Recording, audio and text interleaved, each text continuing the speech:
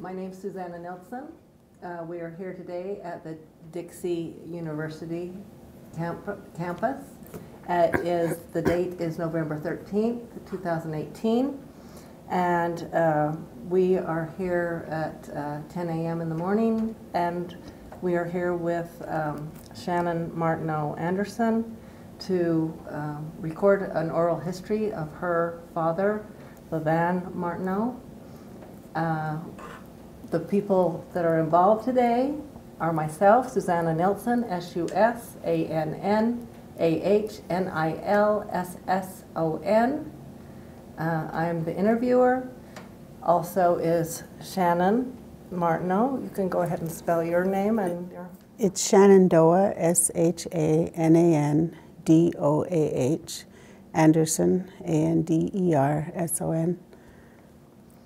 And also with us is the archivist from Dixie State University. Hi, I'm Kathleen Broeder. It's K-A-T-H-L-E-E-N, Broeder, B-R-O-E-D-E-R. And our videographer today, Mike Gardner, M I K E G A R D N E R. and I just want to thank everyone for being here today. And we are going to start uh, recording an oral history of uh, Shannon's uh, father, LaVan Martineau. Uh, LaVan Martineau um, was an important figure here in the St. George area and in this whole southern Utah area. He was the writer of two very important books. This one, The Rocks Begin to Speak, and this one, The Southern Paiutes Legends, Lore, Language, and uh, Lineage. Um, and so we feel like it would be a, a great thing to record his history uh, of his life, and that's what we're here to do today. Um, I'm going to start out by asking Shannon a little bit about uh, her memories of her father, and we're going to start with his youth uh, and who his parent, uh, just kind of say who his parents were and where they came from, and tell a little bit about his youth and, and what happened to him uh, during his young young days.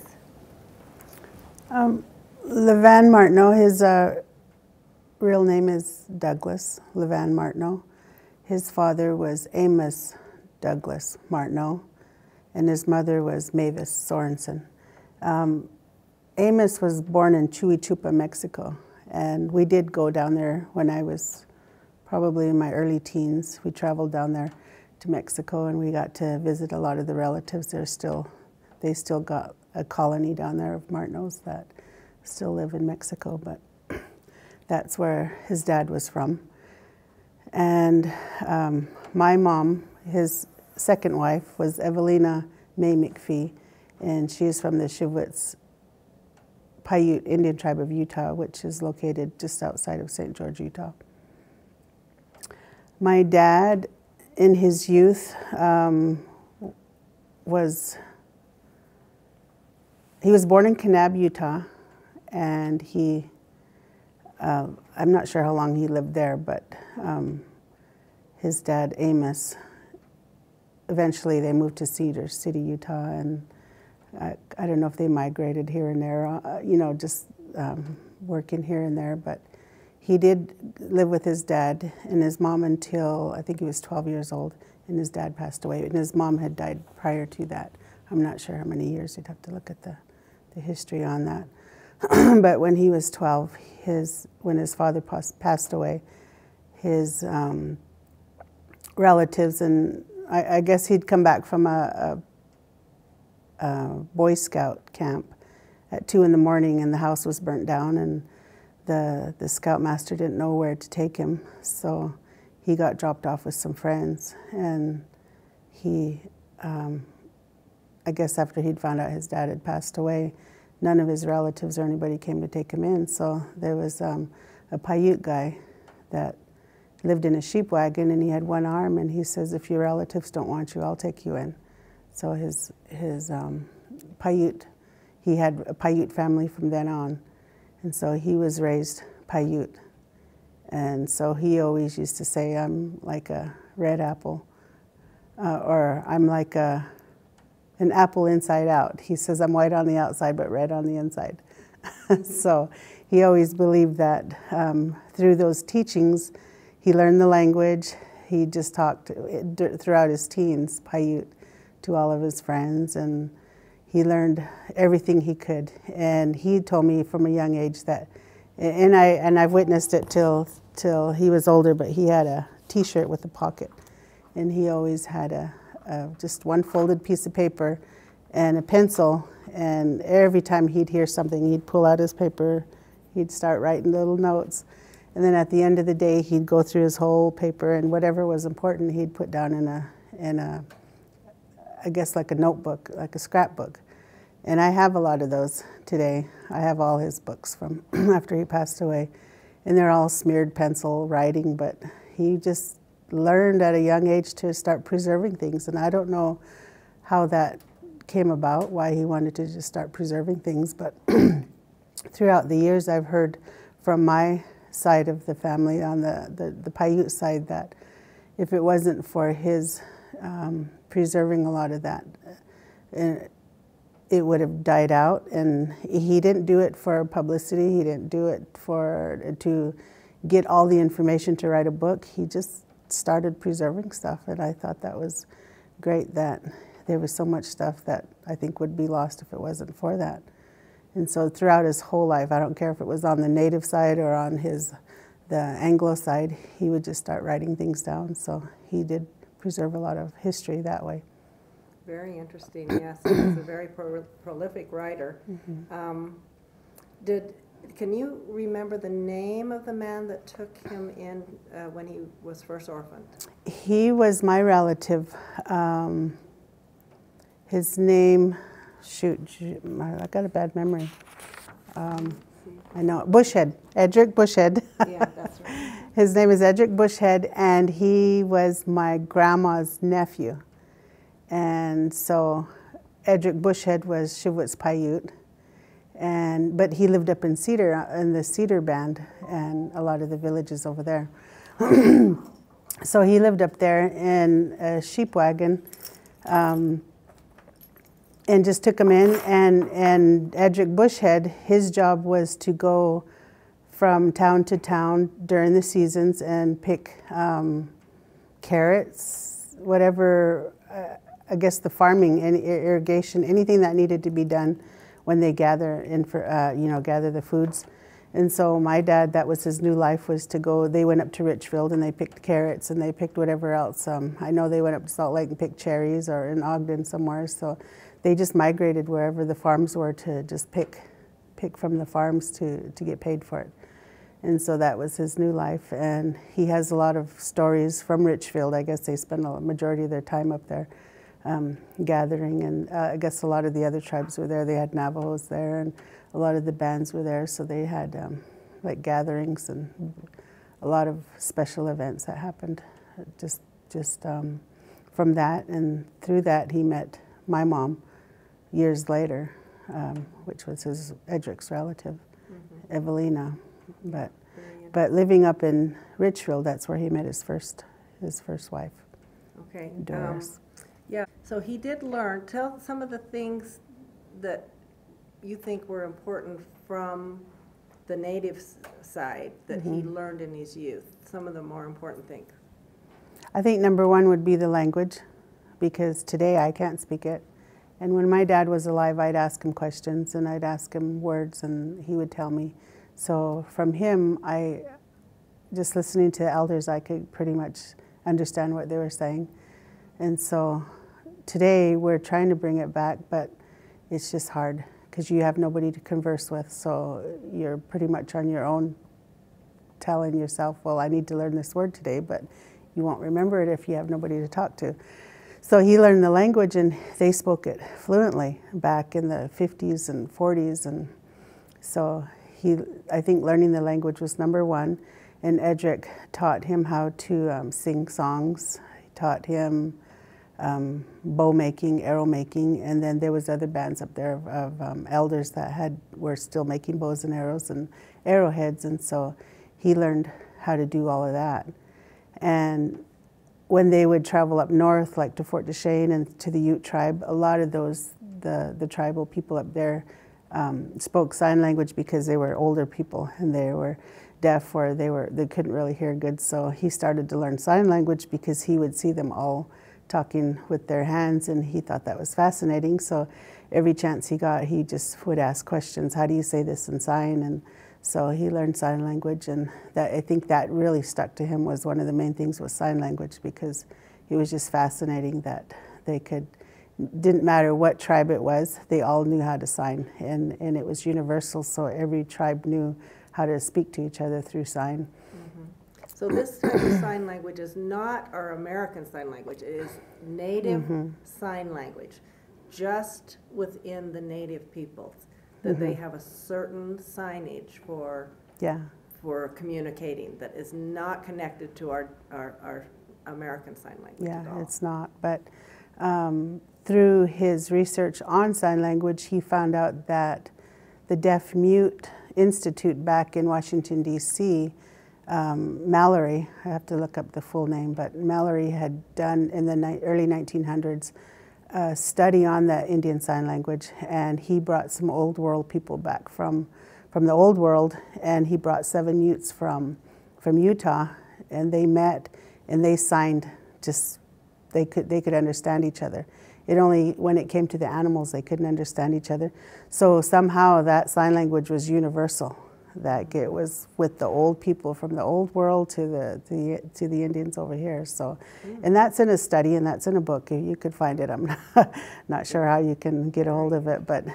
but they understood the signs. And my dad said that the only troubles he had in learning signs was if he went to Canada and they would point. Well, the, for example, he this, the old man kept pointing at his elbow, and he had to question why. Why do you keep pointing at your elbow? And they said that there is a river up there called Elbow River, and so he was referring to that. So it was just little gestures like that that were different, but it all still was understandable. So other than the sign language, uh, arrowhead making, bow and arrow, um, he learned to bead. Uh, he wasn't very good at it, but he learned it. um, uh, and the sign language got him into wanting to learn the petroglyphs because um, an older man went out to the Parowan Gap area and told him what some of those signs meant out there. And so it was just fascinating to him. So he got into, that's how he got into wanting to learn petroglyph. All right, and then, uh, I know you didn't mention dancing, but he, did he take up, uh, actual learning of the native dancing as well as? And that's how he was doing his own beadwork was because um, they he was in the Boy Scouts, and so the Boy Scout troops wanted them to do Native American dancing. So he got all of his buddies that were up at the Cedar Village, and they all made their regalias, and they started to perform for the different church branches. And then pretty soon they started to go travel all over the place, and so the he learned everything from tanning the hide to um, making the arrows, the bows, just you know, just the full regalia, and then some of the dances like the mountain sheep dance, and um, he made his own bustles and gathered all of the materials, and so he did learn how to dance, and and that dance group was also. Um, the the native dance group would go all over to powwows and special events, and they'd go to Flagstaff and they'd um, be in the parade over there. So it was kind of a, I guess it was quite a bit of them that would go around touring, just just dancing. So this was still while he was in his teen years? he was Mhm, doing Teens and twenties, yeah. Okay. And then, um, after that, uh, he moved on to joining the U.S. military. Mm-hmm. And then, can you tell us any memories you might have of why he did that? Was it, was he drafted? Was he, was he actually, did he join? Did he? He knew he was going to be drafted, he said. And so him and his Indian buddies said, well, let's just go up and enlist because they're going to draft us anyway. So they went and enlisted, and I guess they took a train up to Salt Lake. And on their way up, they were talking to each other on, well, what do you want to join? Um, is it going to be the Air Force, the Army? So they were all talking about it, and they were saying that it seemed like the, the the Air Force would have been the simplest one out of all of them, so they just chose the Air Force. And so when they got up there, um, they were asked questions on what they did in their life to want to be in the Air Force. And my dad said that he herded cattle um, a lot of the time. And so they said, well, if you can herd cattle, you can herd airplanes. So they put him as an air pilot uh, control operator. And so he went back back east to, to learn how to do, do all of that. And that was in 1955. And before he left, he had met um, an Indian family in St. George that um, he had got a liking to one of the, the younger girls, and so that was Doris Kanosh. And so he started writing to her while he was in training, and and I guess they eventually he came back, got married. He married her, and they moved to California, and that's where he was stationed over in California, and that's where my oldest sister Dorina was born on the base in California in 1955, and so um, from there he went over to Korea and while he was in Korea, he nitpicking everybody's brains. He got fascinated with the cryptanalysis side of how they they um, uh, interpret, I guess, all of the the the what do you call those Code. um, the codes? Yeah. And so every night after, when they were in their, their tents, he just started to, to ask questions. And so he was fascinated with cryptanalysis and how that repetition of, of deciphering something um, did something inside his brain to think, well, maybe that's the same with the petroglyph and the Indian writing at home, that it ha- must, if you're going to do a symbol in, in picture writing, then it has to be based off of cryptanalysis. So he just, he's, he learned all he could while he was over in Korea on that. And when he came home, that's when he became, I guess, he spent the majority of his life. From then on, after he got out of the service, he just did his four years and then um, became fascinated with interpreting the, the picture writing. And so that's where that led him after. And he, he could have, they told him when he left the services, if he wanted to stay longer, that they would give him, he would be making a lot of money and he could uh, have a good career on it. But he just said his, his people was at home, his family was at home, and his loves were at home, and he just he didn't want to travel or be away from the Paiute country because of all the things that he learned and being raised in Paiute country that he said he needed to come home. And so he came home. He didn't have a good job, never had any steady job. He just um, he didn't care, just uh, being poor, but he just loved the, the country so much that he didn't want to be apart from it. And so that's when he started writing more things down on the, the tribal tribal information and learning, going around every pet, picture, uh, petroglyph he could get a hold of or take a picture of, he would take pictures and go and ask the elders, well, what do you think this means, or how do you do this in sign? Do you think this is goes with this picture? So he just started asking questions, and pretty soon he started writing down little notes. And I actually have all his library of penciled notes. and it's in at least four different books. And so back from the 50s on is just penciled notes of what he thought this interpretation was, and then he'd go back and erase it and do it over. I have pages that are so raced over and drawn, re, rewritten, rewritten that it's just, you could tell his passion was in learning that because he's just devoted his whole life. He said 40 plus years just learning how to, to analyze what those writings meant. One of the things I was that when he and his native uh, friends joined and they were put into a bunkhouse with a bunch of other people, they couldn't sleep on the bunks. they could not. They they took everything off and slept on the floor. Yeah, they slept right on the floor, and they said it was cold back in the year that they went back, and it was freezing, but they said they were so used to sleeping on the ground because I guess in Cedar City, where he was based most of his life when he was in his teens, in Richfield, he said they, they slept on the ground. They didn't, in the, the sheep wagon, they slept on the ground. He slept on the ground. And so he just, that was his life, was just having his sleeping bag and rolling it out wherever he was. And you're out picking carrots, you just roll your sleeping bag wherever you were. And so going into the service and having to sleep on a mattress, he said it was bad on his back. And so they all, him and his uh, Indian buddy slept on the ground until they got caught. And so they had to end that. But it was just, he, he lived uh, a really simple life. Yeah, I noticed by reading through his autobiography that he actually spent most of his life sleeping outside. Mm-hmm. He usually never, hardly ever slept in a house. Mhm. He slept And- on a porch Yeah. or on the ground. Yeah, yeah, Or in a teepee. yeah, and that's how I was raised. Um, was I started dancing. I, I think since I could walk, but I remember I have a photo of me when I was two, two years old, dancing at a powwow, and we lived in a teepee all summer. We would go from powwow to powwow. We went all the way up to Canada, and he didn't have a job, so the way he made money was he'd make arrowheads, and he'd sell them for a couple dollars, and that would get gas money to go to the next powwow. But every tribe that we visited, they were very generous. They always fed, so we always had food. And so it was pretty much just the gas to get there. And then they always provided gifts and blankets, and so we were well taken care of. But we lived in a teepee, and they normally supplied the teepee poles, so we would just carry our canvas teepee with us wherever we went, and a station wagon, and piled high with blankets. And me and my sisters and my dad would just travel all over. and my mom left my dad um, when I was two, so I was raised by my dad.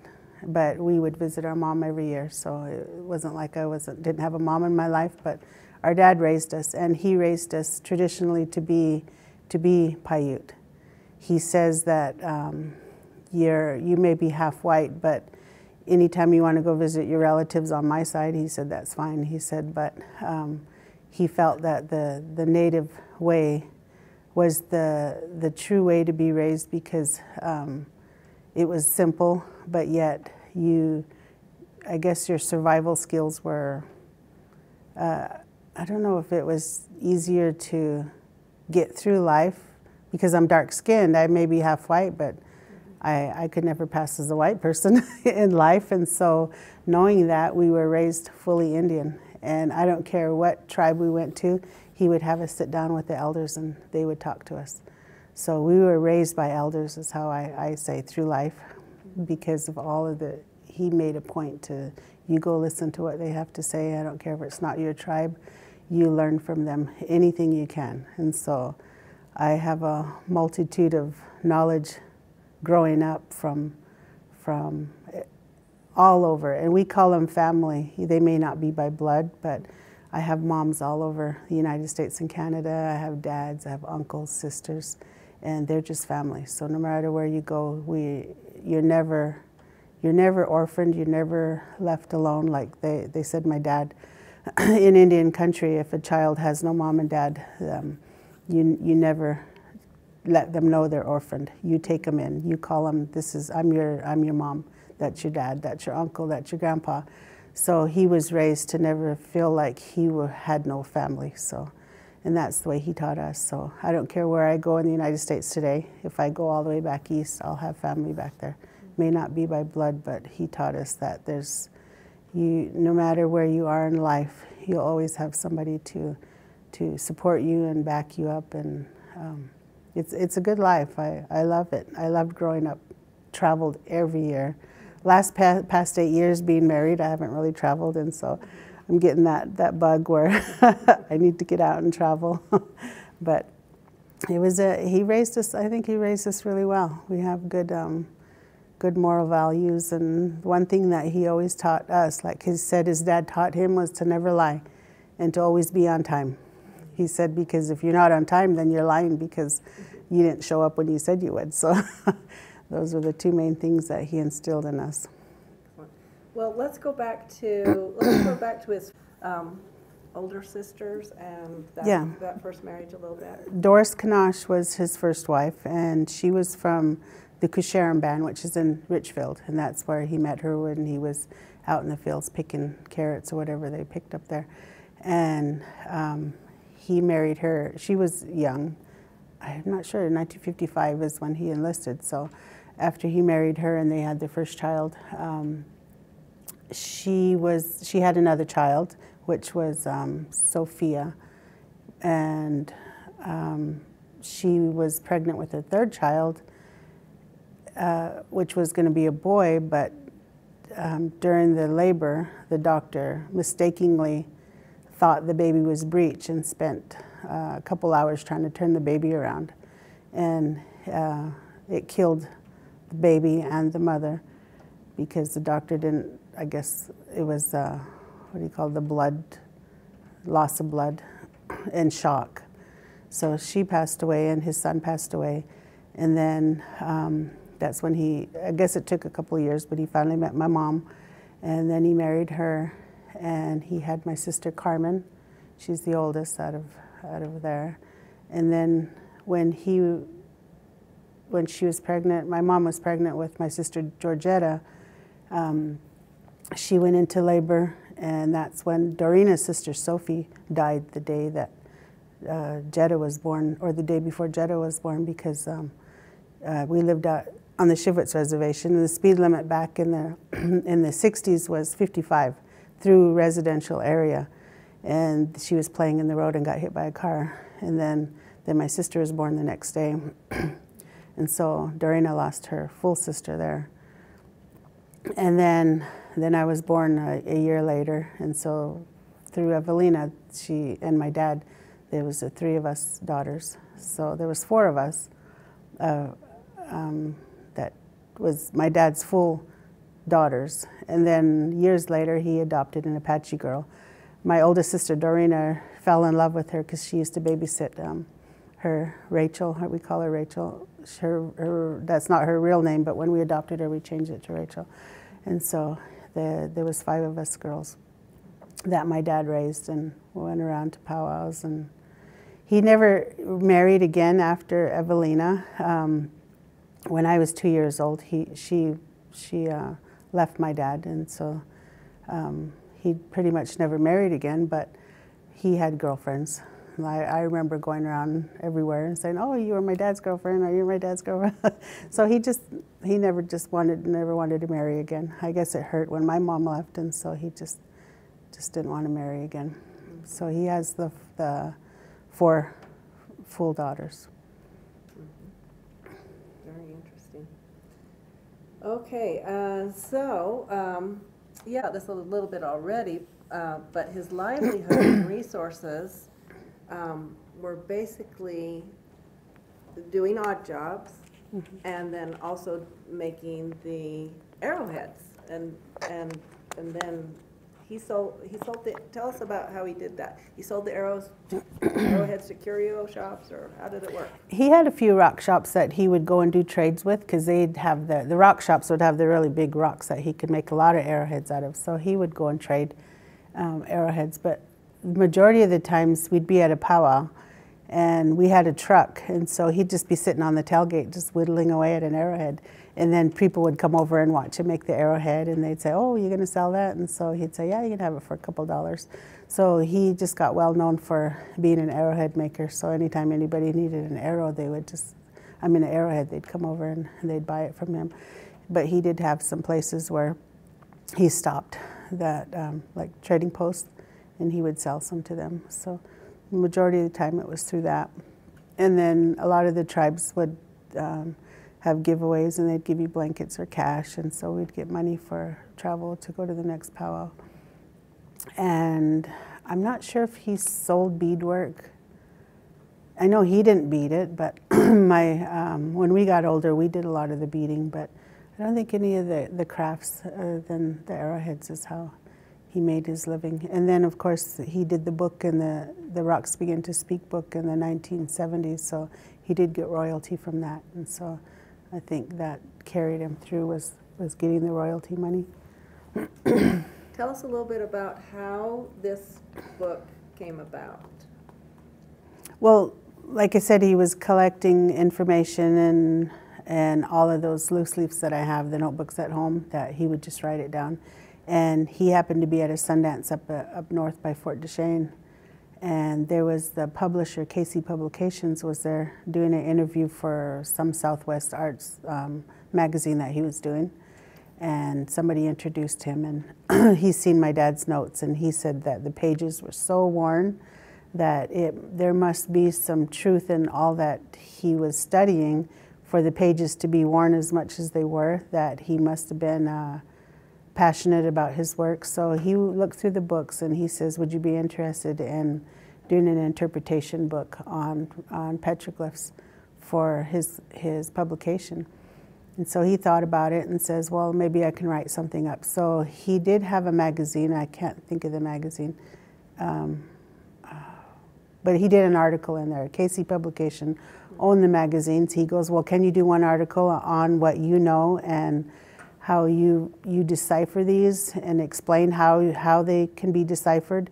So my dad did one article for the magazine, and it was so popular that um, the the publisher seen that it was a moneymaker, and he says, "Well, if you can do me a whole book," he says that um, I'll advance you the money to travel where you need to take the photos of the pictures you want to put in the book and to do the artwork. And so, uh, my dad took a full year to just just get it organized enough to be in a book, and then he showed it to the publisher. And so it probably took two years to get that book written, but my dad never intended to do it. He was just gathering information for himself.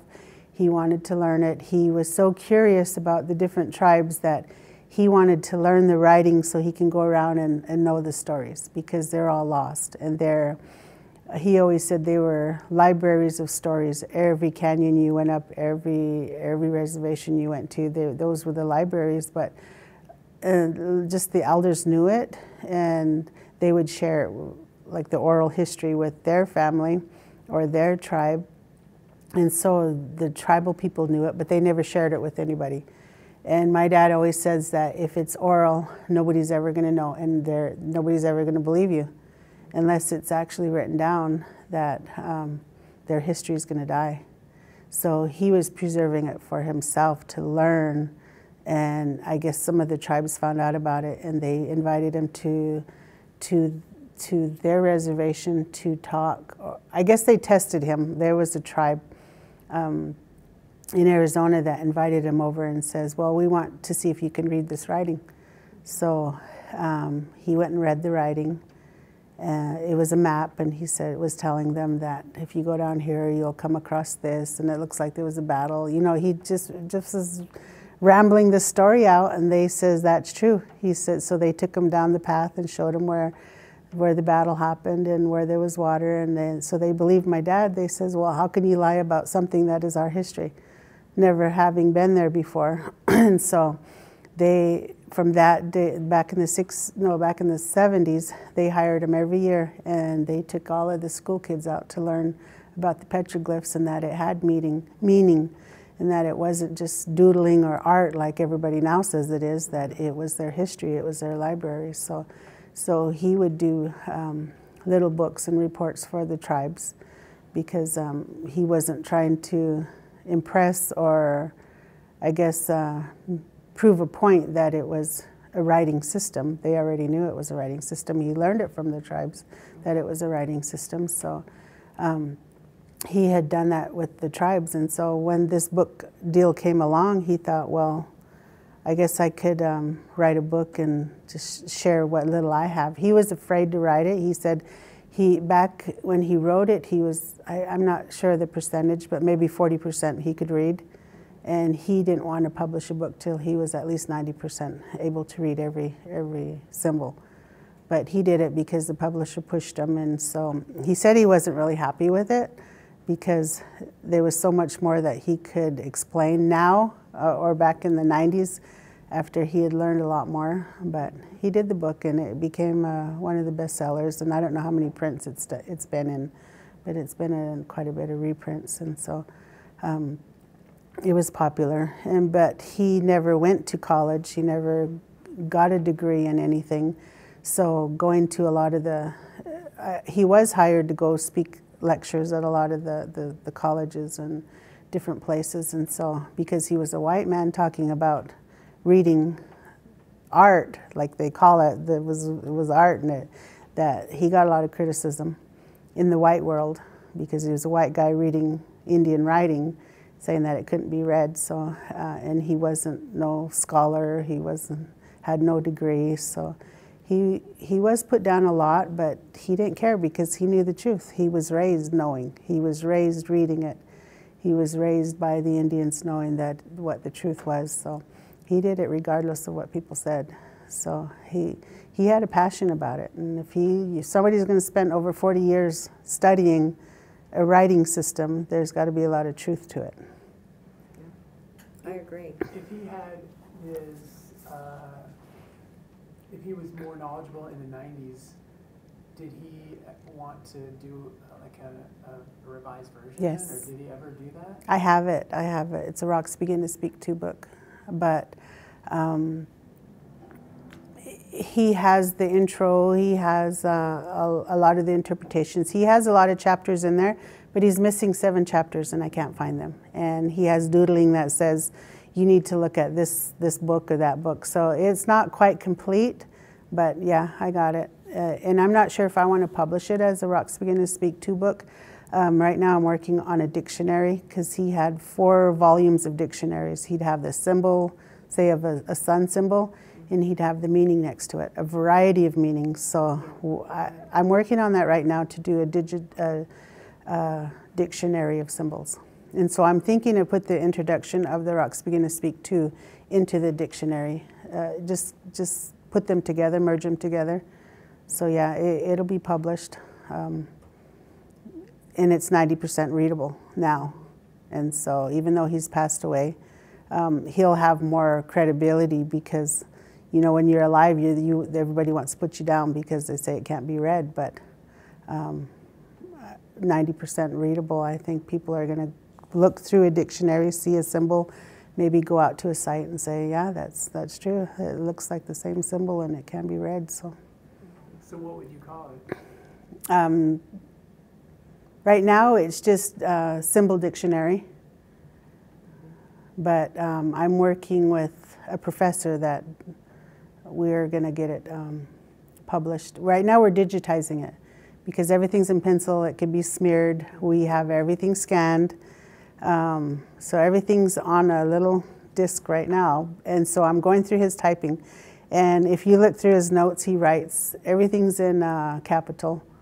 And if it's not capital, it's cursive. And I can't read a lot of his cursive. and it's smeared. So it's taken a long time. And I thought between the two of us, he, she's actually putting the symbol, erasing the, because it was on lined paper and pencil and smeared. So she's um, using Photoshop to take the, the symbol off of the, the smeared, the background. And so she's doing the symbols and I'm doing the typing. So between the two of us, uh, we're hoping to get a book out in 20, 2020. It was 2019, but I think in 2020 we'll have a, the first volume out. And I think it has to be done in volumes because he's got over 200 chapters in there on different variety of symbols, from hands to walking to everything. Everything that has to do with the symbol is going to have to be done in volumes. Well, I certainly believe that anybody that spends time in front of petroglyphs anywhere can see the similarity hmm uh, anywhere you go, in the southwest at least. hmm Um, So did he say that the petroglyphs were similar to the sign language where It is. It's it's actually, and I do. I have a PowerPoint that I give on the Paiute tribe, and I do mention that the sign language is um, the what is written on the rocks, and I give signs like, um, for instance, to go to go up in sign is like this, and then I'll show a picture of a spiral. And then if it's going the other way, it'll show it going down. And then they all, uh, on the PowerPoint, I have a picture of a, it's just a zig, a, a pile of, um, in, in picture writing, it just looks like a pile of, or, or it actually looks like a pueblo or something. So I explain every symbol and then I'll show the sign next to it. And there's a dot with a circle around it, and I'll say if you go like this and hold your finger, eh, there's a dot in the middle and that means to hold. So in sign language, it means to hold. And so if you see that symbol on the rock, it means to hold. And so every symbol can be explained into a sign. And so it's just, it's fascinating. And I do teach a lot of the Paiute kids that um, sign language around the campfire and how a lot of the elders couldn't speak. And so everybody had to sign so they could understand. And I I seen that growing up all the time. People would sign, whether they were deaf or not. It was just habit that when they would talk, I'm going over here. They would their hands would just move. so I thought that was fascinating. But now you don't even see that anymore.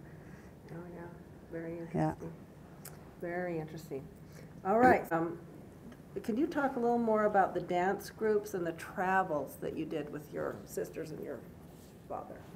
Yeah, because my dad had done it with the Boy Scouts, and then later on he did it with the, the Paiute tribe, um, some of his friends, and they went around and did that. Um, growing up, my dad, he, he taught us values of, because nowadays you can go and dance and compete and you win money. And back in those days, uh, probably in the 70s, they had competition where depending on what category you were in, they had a traditional uh, men's fancy, women's fancy, tradi- uh, women's traditional. They had the different categories and they would dance for money. So my dad says, I don't want you guys to dance for money because um, you're going to get it in your head that competing, it's all about competing. It's not about um, holding yourself up with pride because when you compete, you're so in a hurry to just make an outfit so you can go out there and be like your outfit. You want it to be flashy and you want to win. He says, I don't want you guys to be raised that way. So during our, our, our juniors and our teen years, we didn't compete. We would just go and dance. So we traveled everywhere just dancing, just, just for the fun of it. And then when we got in our late teens, um, there was a competition because we'd walk out when they'd go stand up and have their number taken. We'd always walk out, and people would say, "Well, why are you guys walking out? You danced so well that you would have won that. You would have." So we were always told that, and so my dad said, "Well, uh, you guys have danced that long without money. That go ahead, uh, you guys can start competing because you have instilled in you that it's not all about the money." So we started dancing and we started making money, and all of between us five sisters, we were making our own our own cash to go and dance. And nowadays, you can it's like fifteen hundred dollars if you win first place. So it's really become competition where you can make a thousand dollars a week just going off and dancing. Depending on where you go, and I guess a lot of times who you know. Now it's into politics where, well, this family is going to pick that family because they know them. But um, so you can make a living just dancing year round. They have powwows in the winter, they have it in the summer, and so um, so we started going up to Canada, and a lot of the they they really liked our regalia because we tried to do it traditionally. Our dad taught us um, through the elders' teachings that they told us that you couldn't do things for money because it wouldn't turn out right. You couldn't sell things like even medicines. He said they said never gather medicines and go sell it um, because it's not going to heal the person that, that that medicine is meant for. And so we learned the, that you had to learn things the hard way, the original way. And it may not have been hard back in the day, but if you compare now, it's hard. Like we had to learn how to make our own thread to sew. So we had to get the sinew off of the deer. We had to uh, strip the sinew, and then we had to rub it to soften it, and then we had to wet it between our, our, our in our mouth to wet it, and then we'd sit there and twist it. So we had to make our own thread, and they, the threads were maybe this long, depending on if you got a buffalo sinew, it would be a really long piece. So we had to make our own thread. We had to learn how to not use a needle. We had to use a bone awl to make the hole to put the thread through. So we had to learn everything the hard way. We, we had to learn to quill before we could do beadwork because quill work was, was before bead, beads ever became, beads is glass. So um, that wasn't introduced until the 1800s. So we had to learn to quill. We had to learn how to dye the quills, the different colors using natural berries and, and um, roots and leaves, everything. We had to learn from scratch. We had to learn how to gather the, the wolf moss and to boil it and make a yellow, but the yellow wouldn't turn out, so we'd have to mix different ingredients. And so we learned everything um, from the original way that, we, that people knew from hundreds and thousands of years ago. So after we learned that, then we moved to beadwork and needle and thread, and so so we just knew the difference and we knew the time that it took to make something. And so we valued what we made. So we put a lot, my sisters and I put a lot of detail in all our beadwork.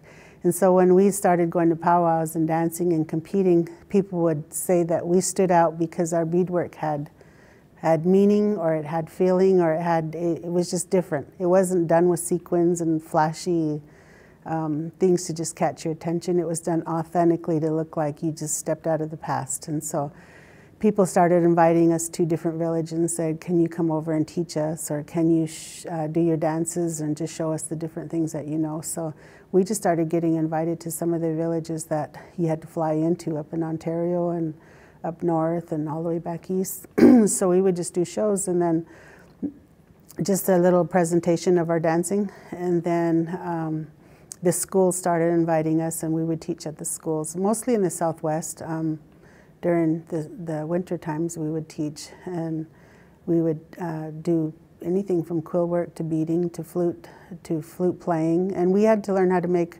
I played flute um, when I was a teenager, and then my other sister Jetta played flute. And so my dad says, well, because um, our first flute was given to us, and it was um, uh, we didn't make it. He says, Well, if you're going to learn how to play flute, you got to learn how to make it the original way. So we had to go gather the wood and we had to learn how to hollow it out without metal tools. And so we learned how to do that. And so after a while, we would teach the other kids how to do it. And so we would go around to different schools, Indian schools, and just teach um, everything we knew. So we got a reputation of, of um, uh, the five sisters going around doing uh, arts and craft or cultural teachings. And then they'd have cultural camps in the summer, and we'd go skin a buffalo and learn how to teach everybody how to use every part of the buffalo, from the bone to the sinew to, to the bladder to make the, the water bags. And so we just learned. And so I try to teach now my kids, but it just seems harder because I don't travel as much, and they pretty much stay put in one spot that a lot of times I think it's going in one ear, one ear and out the other because it just seems times have changed and it just seems harder to teach than So, from when I grew up. Um, in the, in the autobiography, it said that you spent quite a bit of time with the Apaches Yeah, in my, down in San Carlos, mhm. or, and where is that located? it is 100 miles east of Phoenix and it's on the San Carlos Apache Reservation. And when I was, let's see, in the 1970s, we moved to Las Vegas because my dad was doing the book and that's where the publisher was from. So we spent one year there. And then we moved to San Carlos when I was probably in the second grade. And so he said he wanted to move us to a tribe that had, and, and in San Carlos Apache tribe has over 10,000 tribal members. And my tribe, the Shivwits tribe, um, there was only a few houses on the reservation. And he said he wanted us girls to to pick and choose our friends and not just pick who was there and say some of them might have bad influence, some may just drink, and some may just do drugs. And so he didn't want us to, he wanted us to choose uh, between the more traditional people than just who was here. So he moved us from, from uh, the Shivwits Reservation or in St. George to the Apache Reservation so that we could have a bigger variety of of friends. And so I was raised Apache once we moved there. Um, I think I knew more Apache words than Paiute words, and so same with my sisters. And so we were raised Apache, and they were so traditional. The, the women there, some of them couldn't even speak English. And so um, we just, we lived down there my whole life until my dad got really sick, and then we moved home in 2000, and that was the year he passed away. So I was raised in Arizona along with my sisters on the Apache Reservation. And we learned everything from the way they cooked their acorns and how they gathered their roots and how they did their cradle boards. And so it didn't matter which tribe you were from, like my dad told us that they're all family. So we had all of those good values being raised that, and we never grew up drinking. We never did drugs. Not one of my sisters and I ever picked it up even in our um, 20s and 30s, it was just something that, because we were raised so traditionally, that it wasn't um, where a lot of people, uh, they live in small communities and there's nothing to do, no teachings, no elders to teach you anything, so they turn to, to drinking or drugs or whatever they needed to do. But because our life was so full of traveling and wanting to, like, we spent the whole winter making outfits because the next year we wanted for summer and competing we wanted to have the best outfit so we would spend our whole winter just making outfits and so between my sisters and i all sitting around a table we would just talk and we would tan hides and so we grew up a, a close family. And we're still close today. Uh, there isn't a day goes by that not one of us isn't talking to each other. And so we were raised drug and alcohol free. And my dad always told us that if you wanted to drink, he says, you drink in front of me, you have a beer, that's fine. Um, but we didn't want to drink in front of our dads. it was just something we never, why would we want to drink? It, it wasn't an interest to us. We were just so busy doing other things that, so by him moving us to a tribe where we had a lot of variety of friends that, that also didn't drink and do drugs, and so we were raised not wanting to experience any of that because they were out maybe picking roots or you know doing things that we had an interest in. So we, we our life was raised um, more traditional than than majority of the people now. One thing that I noticed in the autobiography is that um, when you went to the Gallup inner, uh, the intertribal ceremonials in Gallup one time, evidently the the Shivwit, you represented the Shivwits, and that it was a. That was my dad, yeah, and that was in the 1960s. It could have been the 1950s, and they won the mountain sheep. Uh, they they did their mountain sheep dance, and they won that every year because it was unique. Nobody had ever seen dancers with the mountain sheep horns on and doing their little dance, and so. Um, they would always win that, and so that was announced that they were the least known uh, Paiute tribe, or least known tribe in the, the whole United States. And I'm not sure back then how many tribal members just the Shivwits alone had, but today there's only 312. and in the 1800s, there was over 800 to 1,000. And so they just all, through disease and um, uh, pioneers and invasions and killings, that it just it dwindled down to, to hardly anybody. But yeah, we were, were. And my dad always said that we may be, our tribe may be small, and one of the poorest tribes in the United States, but we had simple values. Uh, you know, a lot of the tribes, they have so many ceremonies and so many um, rituals that they have to go through every day that, which is good, and, I, and I've learned a lot of them, that we were just a simple people. The Paiutes were simple people that, um, that just lived every day, just, um, I, I'm not going to say to survive, but we just lived every day a simple life, and, and he thought that was like the most cleanliest, uh, beautiful thing is to see a tribe that just, just simple but yet beautiful in his eye. Well, let's go back. I did have a question about the quill work. Anybody listening to this will know about bead work and all Mm-hmm. that, but quill work is a little bit more, um, I mean, less known. So Mm-hmm. can you give us the description of how quill work is done from beginning to Mm-hmm. end?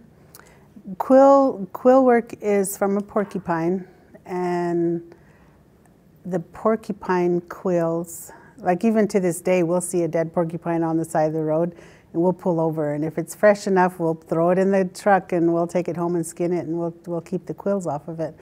But um, the porcupine quills, if you get the really long pieces, um, you you can dye dye the quills different variety of colors and you flatten the quill and when it's flat you wrap it around say a rawhide um, and it's it looks like a flat stitch and i'm not sure how to explain it but you can make all kinds of designs. You can there's different variety of ways to quill.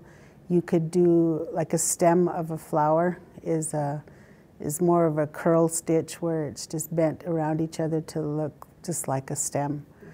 And there's another one where you use two, two it's a crisscross pattern. Um, there's a variety of ways to do a stitch in quilling, but that's how they did their designs. And they would quill, like the men's, the, the buckskin shirts, they had quill work here, they had quill work along their, their um, war bonnets. And so that was how they did their designs. now you do the beadwork, but back then, um, after you quilled it and designed your outfit, um, it would last a long time. Once the quill, after you flatten the quill and you use your fingernail and you'd flatten it, and if you soaked it, um, a lot of times my sisters and I would put it in our mouth. We'd cut the tip, tip off, of course, so it don't poke us, but um, just to, to soften the quill, just put it in your mouth for like a minute and it would soften, and then you would just um, start stitching and you'd have to bend the quill. And once the quill dried it turned uh, hard and there was no way you can unbend that without re-getting it wet. So, so the quill work lasted a long time. It, it was a tough stitch, and the porcupine. Um, you wouldn't think that a porcupine would have make such beautiful designs, but it, it does. And and dyeing it alone was was a challenge. We had to learn a variety of ways to keep the the dye in because a lot of times it just like even blueberries. You'd think if you just throw blue, blueberries in with some quills, it would dye it blue. And it's not the case. It would dye it a, like a brown color, and so you'd have to learn how to mix your dyes. but I, I think quill work. I still do it today. And quill work now is in demand, and quill work, even by the inch, sometimes is $100 if you do an inch worth of quill work. So it's, it's very pricey and it's, it's valuable. It's, it's good to know. And I notice a lot of the young kids now are learning quill work. And back in the 90s, you, you hardly ever heard, knew anybody that could quill. But so it's being brought back. If you get caught in the rain, does it come undone? Mm-mm. No, once that curl, once that that it dries in a certain shape and you get it wet, it's not going to uncurl itself unless you the whole thing is soaked in water. But just getting rain splashed on it, it's not going to come uncurled. Mm. It stays a hard, almost like a cement. It cements itself into that shape. Mm-hmm. Okay, so uh, petroglyphs in this area, we have such an Mm-hmm. enormous amount of petroglyphs in the St. George Mm-hmm. region. Just almost everywhere you look, if you look for it, you can see petroglyphs Yeah. everywhere. And out by your uh, tribal Mhm. lands, there's so many on the way out there. Yeah, my dad had said that in the 1960s, because that's when St. George started to grow, that Washington County was uh, the worst county in all of the United States for the destruction of petroglyphs and historical sites and cultural sites and digging up bones. And it, so St. George went through a period where there was a lot of destruction.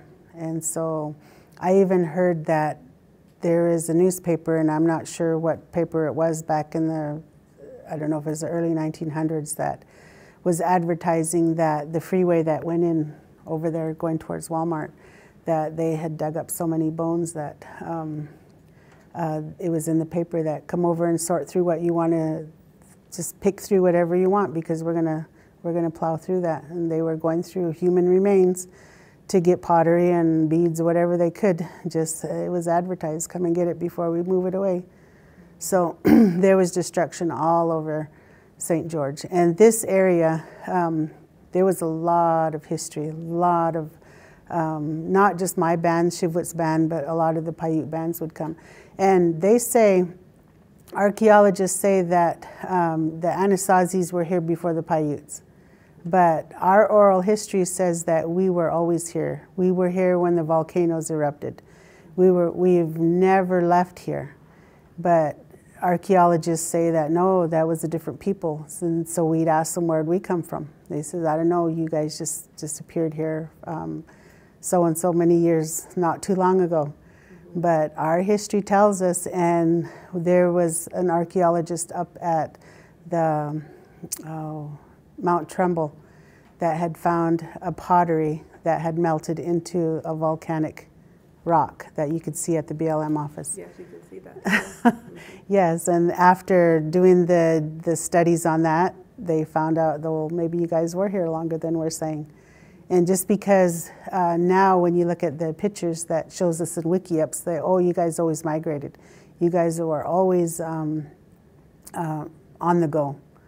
Like yeah, you were hunters and gatherers, so you never had a permanent structure. But they don't know that. We had elders, how could they travel year round? We had permanent structures that they would stay here, and then the rest would travel to go with the season, to go pick pine nuts or to go up to um, Fish Lake to get to do their gatherings and get fish. And so, yeah, we did travel a lot, but we did have permanent structures. So they say we weren't Anasazi, but that was our people. And so we fight to this day for structures that are being destroyed and saying, well, that's not your people. And they, yes, it is. We're fighting to preserve and make sure that those bodies that you're digging up is comes back to our tribe because those are those were my ancestors, whether you believe it or not. And so there was villages after villages throughout this whole valley and we're probably sitting on one right now, but it's just everywhere. And my dad reading some of the history, like on the petroglyphs, in on our reservation, there's a story of a lady, a young girl. It's a picture of a parrot, and there's no parrots around here with a toucan beak and you know a big long beak. And he read that to us, and it said that um, because a lot of the, the Spaniards in the Spanish Trail days um, would take a lot of the young kids and take them for slaves and sell them off down to Mexico. But that one Paiute girl escaped and she made her way all the way back home. And she talked about that bird with the long tail and the colorful bird with the big beak.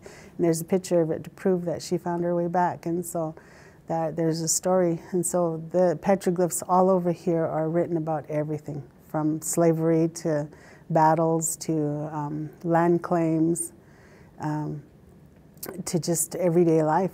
So they're everywhere. And every time I see that there's a new development going up, it just it breaks my heart because I know that there was a, had to have been something underneath that at one time. Where then I hear stories that people, because you have to stop construction if you come across a bone. I've heard stories where they say if you see bones, keep going. So I've heard many stories where there was a pile of bones that people just went through in the dump because they didn't want it to stop. So when I see this whole valley and all the destruction, it's just it's sad to see because they destroyed our history. Well, it's amazing that we still have hundreds of petroglyphs, and, but yet hundreds have been lost. Yes. Thousands. And I have a lot that were destroyed. My dad had had uh, taken had recorded. He got the maps. He took the photos and we'll go back and I'll see a new distri- uh, a site come up like on the other side of the airport hill. I'll say, hey, there's houses there. So I'll go back and look at my dad's um, maps and I'll say, yeah, there's petroglyphs that were there. I wonder what happened to them because it's private property. You, you don't know what they've done with the petroglyphs. Mm-hmm. I know if there's bones, you got to stop, but if there's a petroglyph, what are they doing with them? So I have a lot of the, the destroyed, the only probably the only destroyed the, uh, the sites that I have the photos of, and that's all that remains. Yes, I know uh, the preservation of the petroglyphs in this St. George city limits is, I think, something that is maybe high on their list of things, but I know that they've done a, in the last year, they did hire someone to do a complete survey of everything that remains. Mm-hmm. So at least they know what remains. And I was on council for eight years, and so I was the cultural resource manager, and so um, when I got on, the, a lot of times the, the different agencies didn't really work with the tribes. And my sister Dorina, she works for the Paiute Indian Tribe of Utah as the cultural resource manager.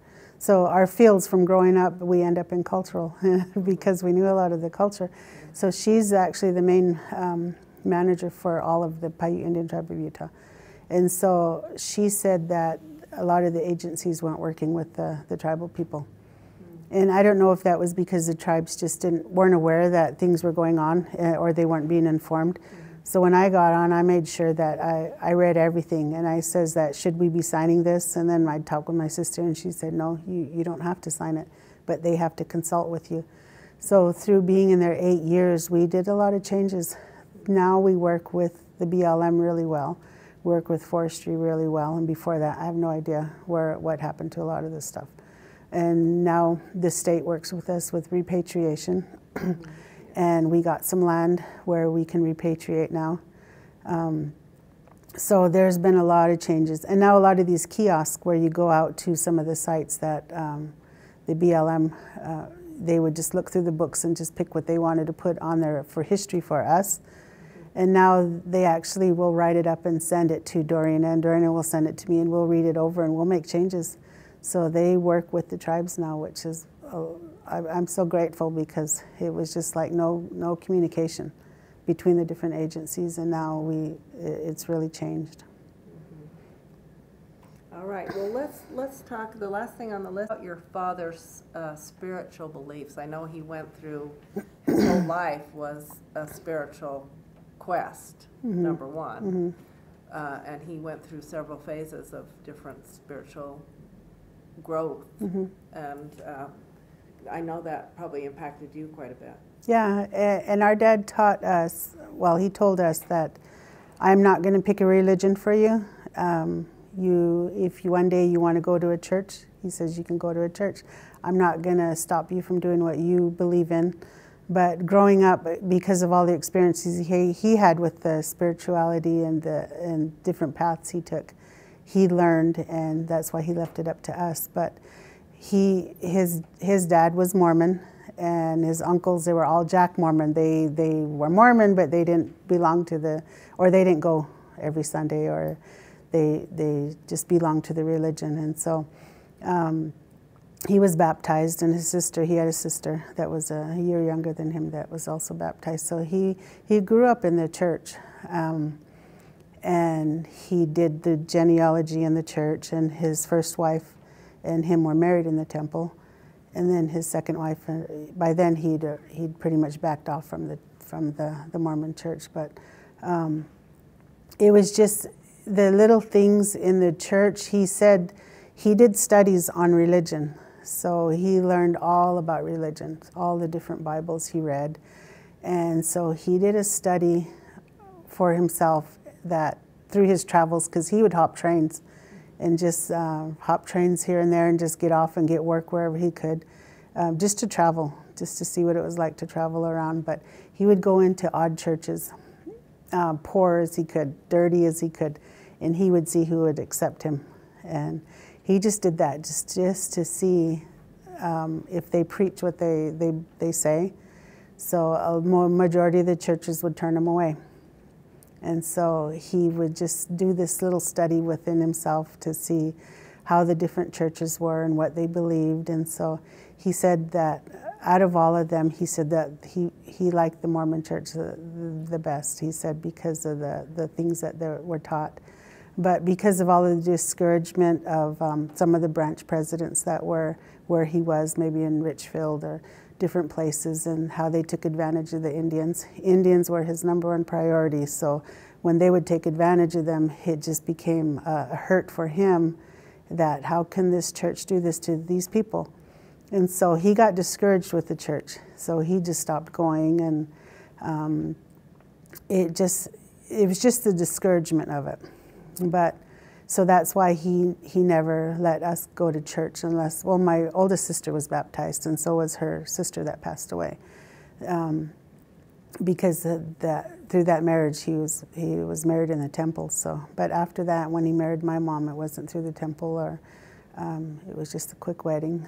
And so he just taught us that um, growing up, that the, the Native American beliefs that, that we believe in a creator and you pray every morning. You wake up before the sun and you say your prayers, and that everything has life. And there is no one place that you go to to worship the Creator or God. Um, it's everywhere.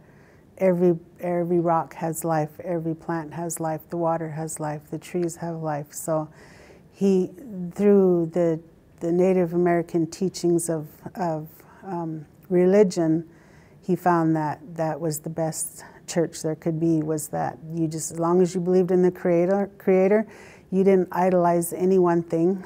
You only believed in him that he found that um, the the religion of just believing in God was the best one. So that's why he said one day if you want to go to church that's fine. I'm not going to stop you. He said that was just my experience was he was just discouraged but the spirituality was the, the Paiute belief that we all believe in a creator and that everything has life. I know that in his book, um, in his autobiography, he does talk quite a bit about receiving signs mm-hmm. about the future or something. He had a, he felt like he had a special gift to mm-hmm. be able to interpret those kind of things as mm-hmm. well as and that, that was quite interesting. Mm-hmm.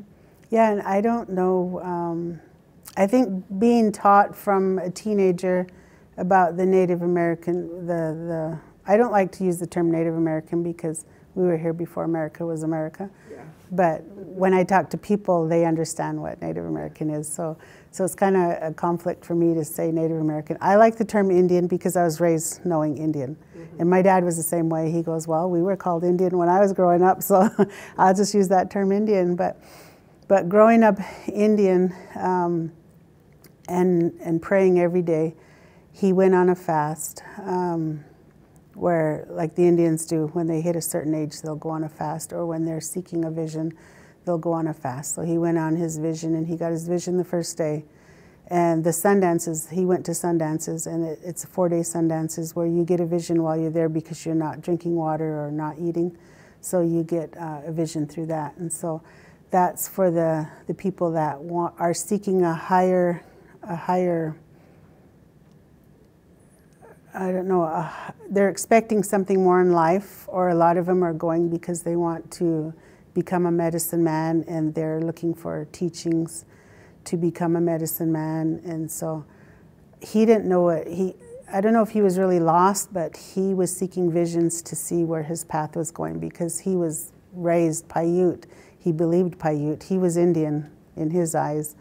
So he had learned a variety of the different spiritualities of seeking things that um, he became a healer for, for a short time, and people would come to him and that he would heal them. And he never talked to us about that. It wasn't until years later I looked through his book and I found out that he was a healer, but he did tell us that, um, and he, he told us how we could heal. He, he told all my sisters and I that you can heal anybody from any sickness there ever is. And he says, you see, you see and you hear medicine men doing that. And in our tribe, um, my husband's tribe, the Moapa Band of Paiutes, there was a lot of healers there that could um, had come up to Shivwits and they'd healed little like little kids that were dying.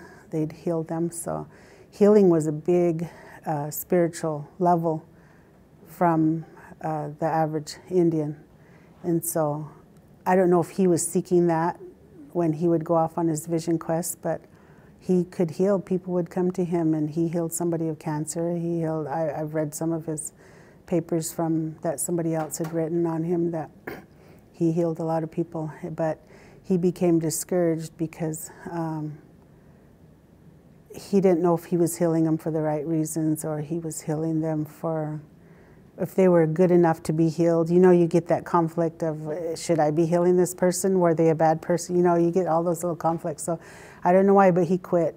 He quit healing and he told us how to heal. But uh, my sisters and I says that we're we're not on that level to become a like a medicine woman or to, to be able to do that. So he just taught us to heal through um, the different medicines and to gather and things like that. But he was very spiritual, and he, I, I think that's why we were raised the way we were was that as long as we believed in the Creator, um, that we were untouchable. Like uh, there wasn't anything that could touch our family, and we had a lot of um, I don't know if you'd call it witchcraft or jealousy or bad medicine that was was aimed at my family. And it was just like a barrier was around us and we always made it through. And um, we always my dad seemed to always know he was always one step ahead of what people were wishing bad on us or he knew something bad was going to happen and and I think I kind of got that that um, with me inside me like i'll know when something bad's going to happen and I, I won't go say say i'm supposed to go to arizona tomorrow. One time i did that and i had this bad feeling that oh i can't go so i didn't go and that feeling washed away and so i think our dad taught us that you have to look within uh, stop and look at what your surroundings don't just go through life so there's a spirituality in his teachings that passed on to us that that it's just as long as you believe in the Creator and don't idolize anything else, that um, you'll live a good life. Well, very interesting. um, so, is there about your some remembrances of your father other than the, what we've talked about? Any um, particular memory you might have had with just between you and he? Something that that treasured remembrance that you have of him or something that you'd like to share? Well, I know when he was uh, going all over the United States, especially in the spring after school would get out, and then, um, um, I mean, the summertime and the fall, he was going to petroglyph sites that were impossible to get to. And being young, we had to pack along his little notebook and his camera. And, and growing up, my sisters and I says, oh, we hated those trips. So we just had to go everywhere. So we pretty much climbed every rock, every canyon, every hill. So growing up, we didn't like that. But now that we look back, I go, oh, I guess I did go there. I did go there. And so I don't see it now as um, as bad as then because you're walking 113 degree weather. And my dad always taught us that you don't take water with you, that if uh, he, he taught us the different plants and the, the elders taught us the different plants that there's, there's ways to, to get what you're, you're needing as you're hiking. So I just remember it growing up that oh, I don't want to go on another hike. it was just hard, but and and it didn't seem like I learned anything because he would tell us um, things about the rocks. Oh, look, this rock means that, or or and then he'd say, go ask your the the elders that did know that. Go ask them, see what they say. So these things that I didn't think I I, I remembered until my dad passed away, and um, the BLM in Las Vegas asked me to come and do a talk on on my dad, and it was about a canyon, Sloan Canyon, that they were going to. Um, I don't know if they were going to make it a park or, or what, but I guess they were needing information on it. So they sent me a whole bunch of pictures and they said, Could you do a lecture on this? And I thought, Well, I don't know what I'm going to say, but I'll go and I'll talk about my dad. But when I got there and the, they were showing the slides, and it just seemed like all the things that I didn't know I knew, I, I guess I did retain it.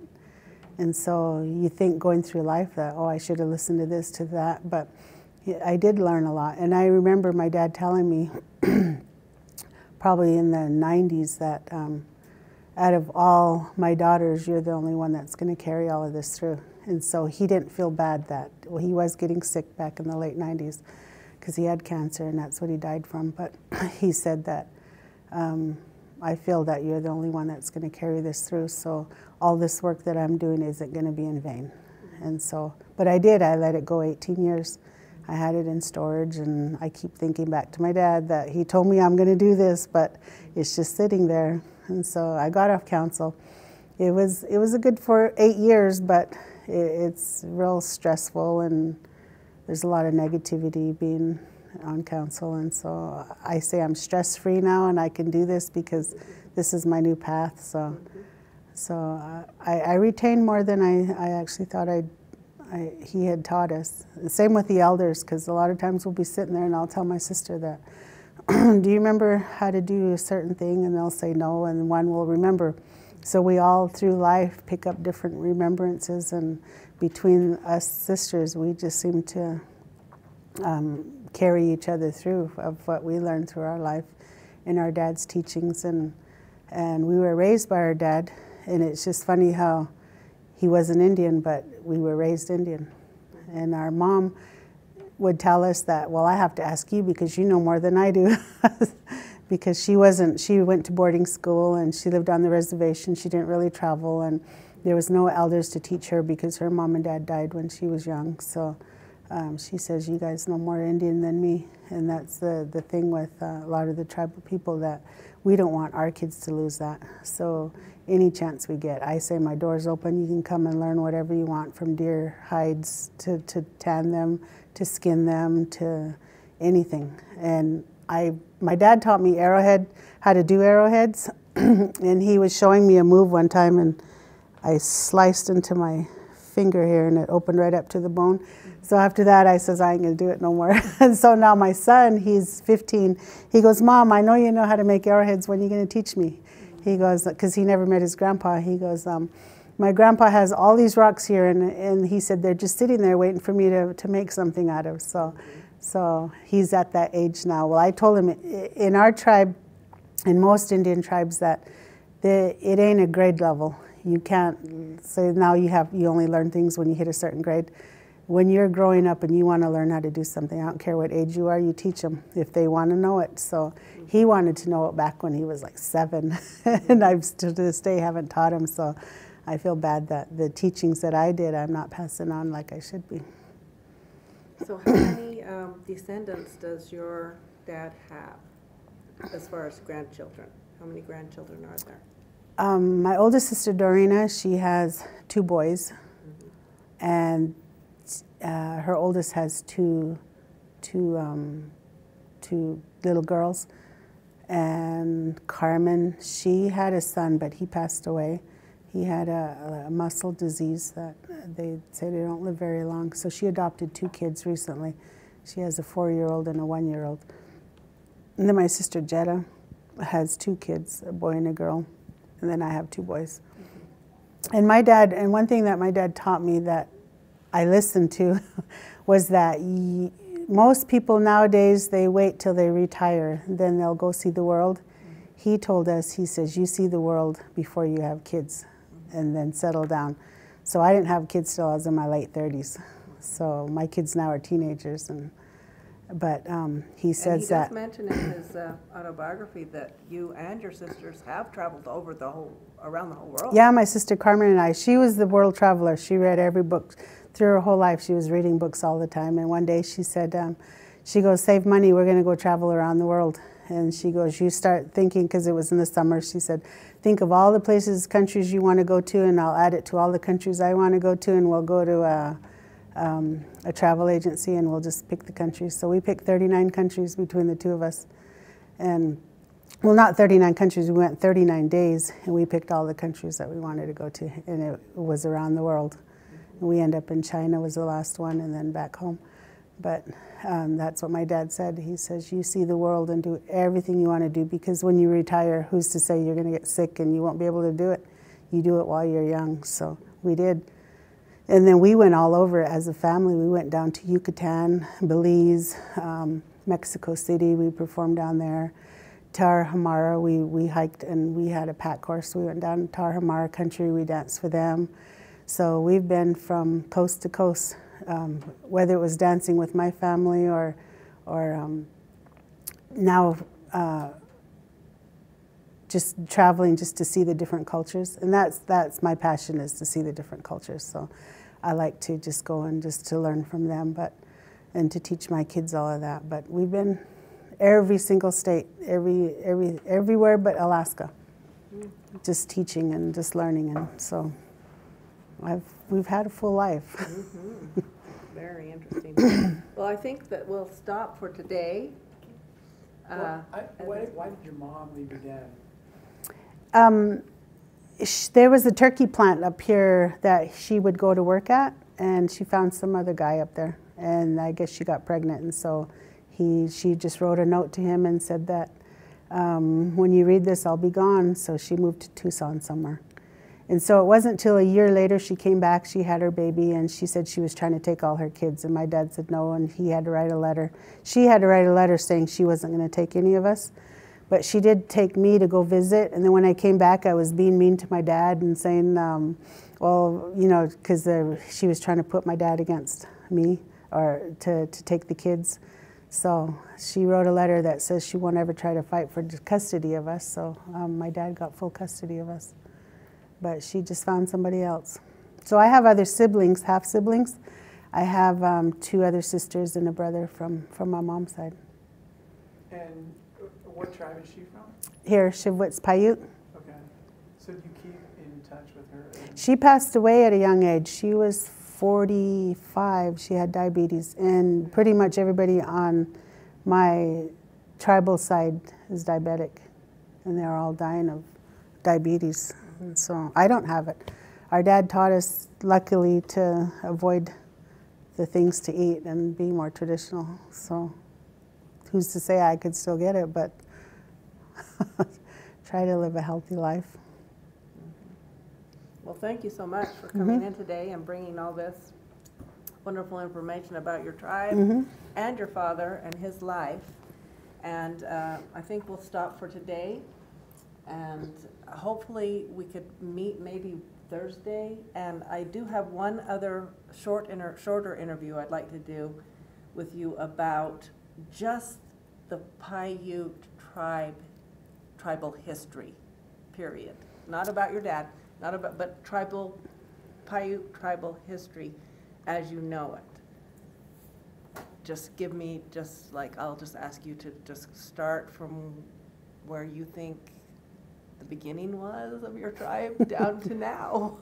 You're like, that's not gonna I know, and I'm thinking, and I don't know dates, I don't Short. know, um, Well, just in general, is it just a generalized, you Mhm. know, just a generalized?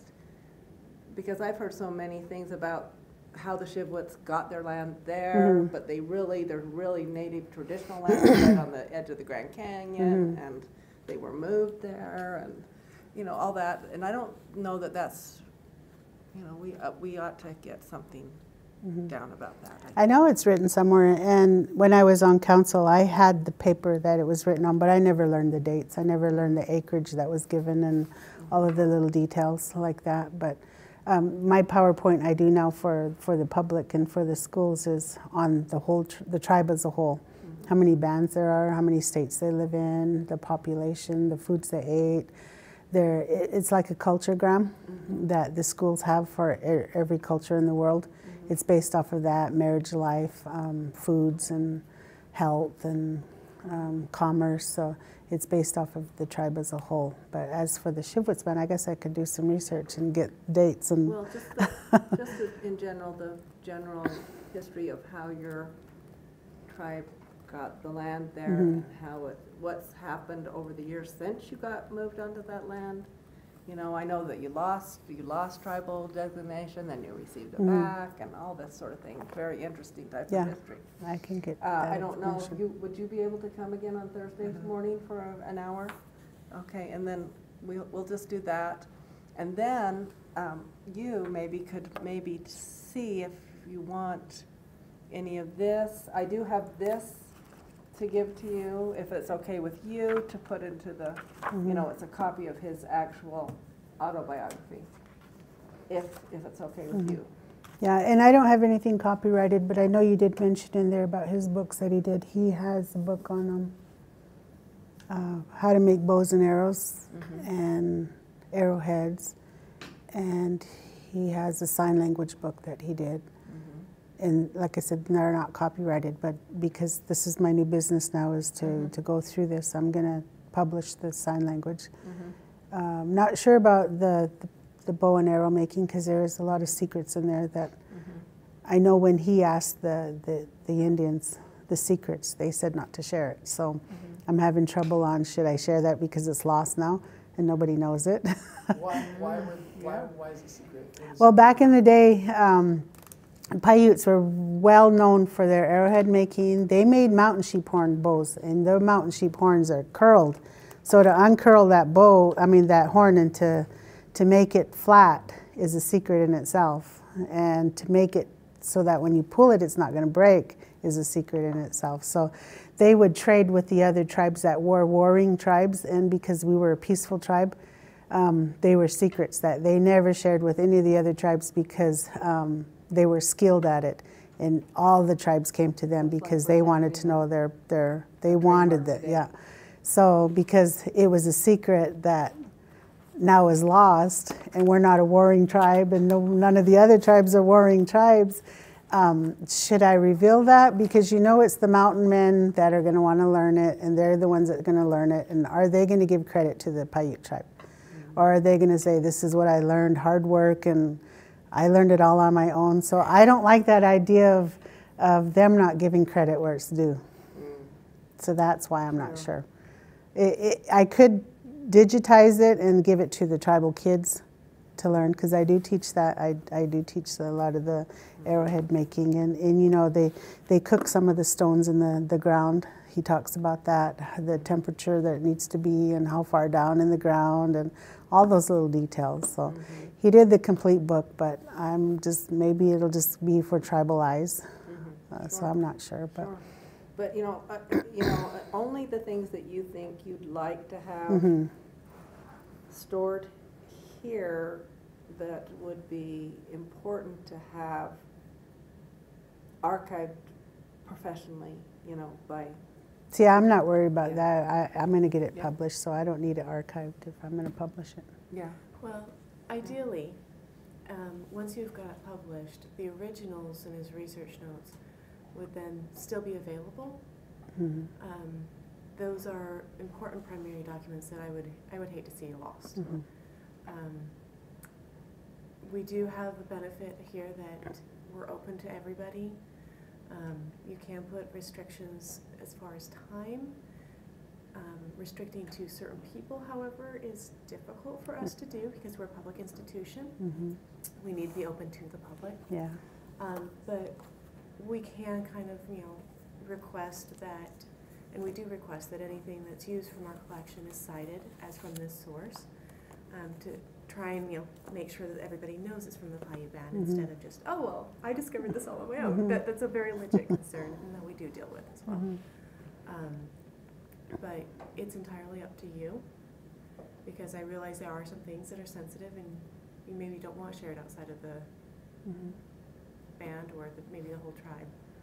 So, And, and that's where I'm touchy at too, because when my dad passed away, I had a lot of uh, the the colleges come after, or saying they were going to come after me and take everything because my dad had willed it to them, and I knew that wasn't true. And so my sisters and I, we took everything that he ever had and we put it in storage, and we hid it there for five years, thinking that people were going to come and get get all of his stuff. So I don't want to part with any of it. I don't want it archived. I don't want it out of my sight. It's in my family and it's going to stay in my family. in that case, um, I might have suggestions on how to store it so Mhm. that it is preserved. Yeah, and, and we've been uh, putting it in those acid sleeves. Now, everything that is one of a kind, like all of his pencil stuff, we are filing them and putting them in the proper way. Once I digitize them, then I then I protect store them. Yeah. Good.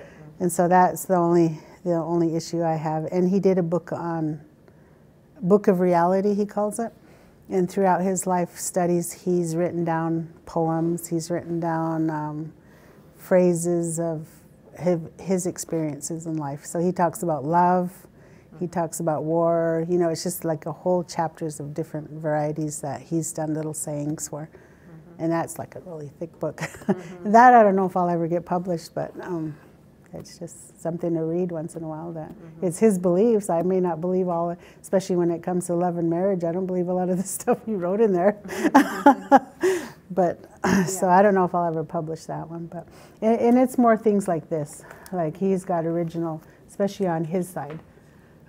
his side of the family, he's got original marriage documents in here and original writings, old newspaper articles, and letters, love letters. And so this is the only thing that, mm-hmm. if anything's going to be mm-hmm. preserved, it's going to be that. And I haven't, because the book is so thick, I, unless I'm looking for a genealogy through here, I just, I haven't really, we don't really touch it. Who, And put, who put those books together? my dad did them.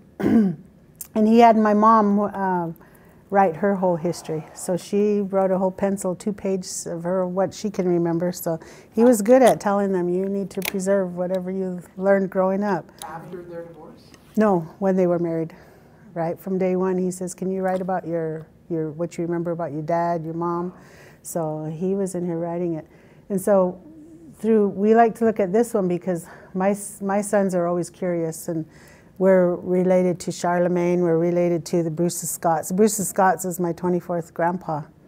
And so uh, we're related to the queens and kings. And so this one, he says, uh, they say you can date back to Adam and Eve. And so he's got, he's, he knows how to keep his history on his side. And then when it comes to this side, um, we can only go back to three grandpas or grandmas, and that's it. There's nothing before that. So this one is a little more, not as much. I've always wondered that with the petroglyphs. Like, it would Mm-hmm. be nice if you could get a name out of it somehow. Mm-hmm. You know, do you know who that person is? Or, And they do. They have names in there. Yeah. Uh, and you know, back in the day, people are named for objects and and the wind and lightning and animals. So my son is named. His nickname is Bear. So I say, if we were to write about you on the rocks, we would just show a bear, and whatever you're good at, you would have a skill. So. So names would be easy to find out, because back then their names were all all kinds of names. so did like the uh, like the longhorn sheep or something? Does that represent a person? It, rem- it represents the people.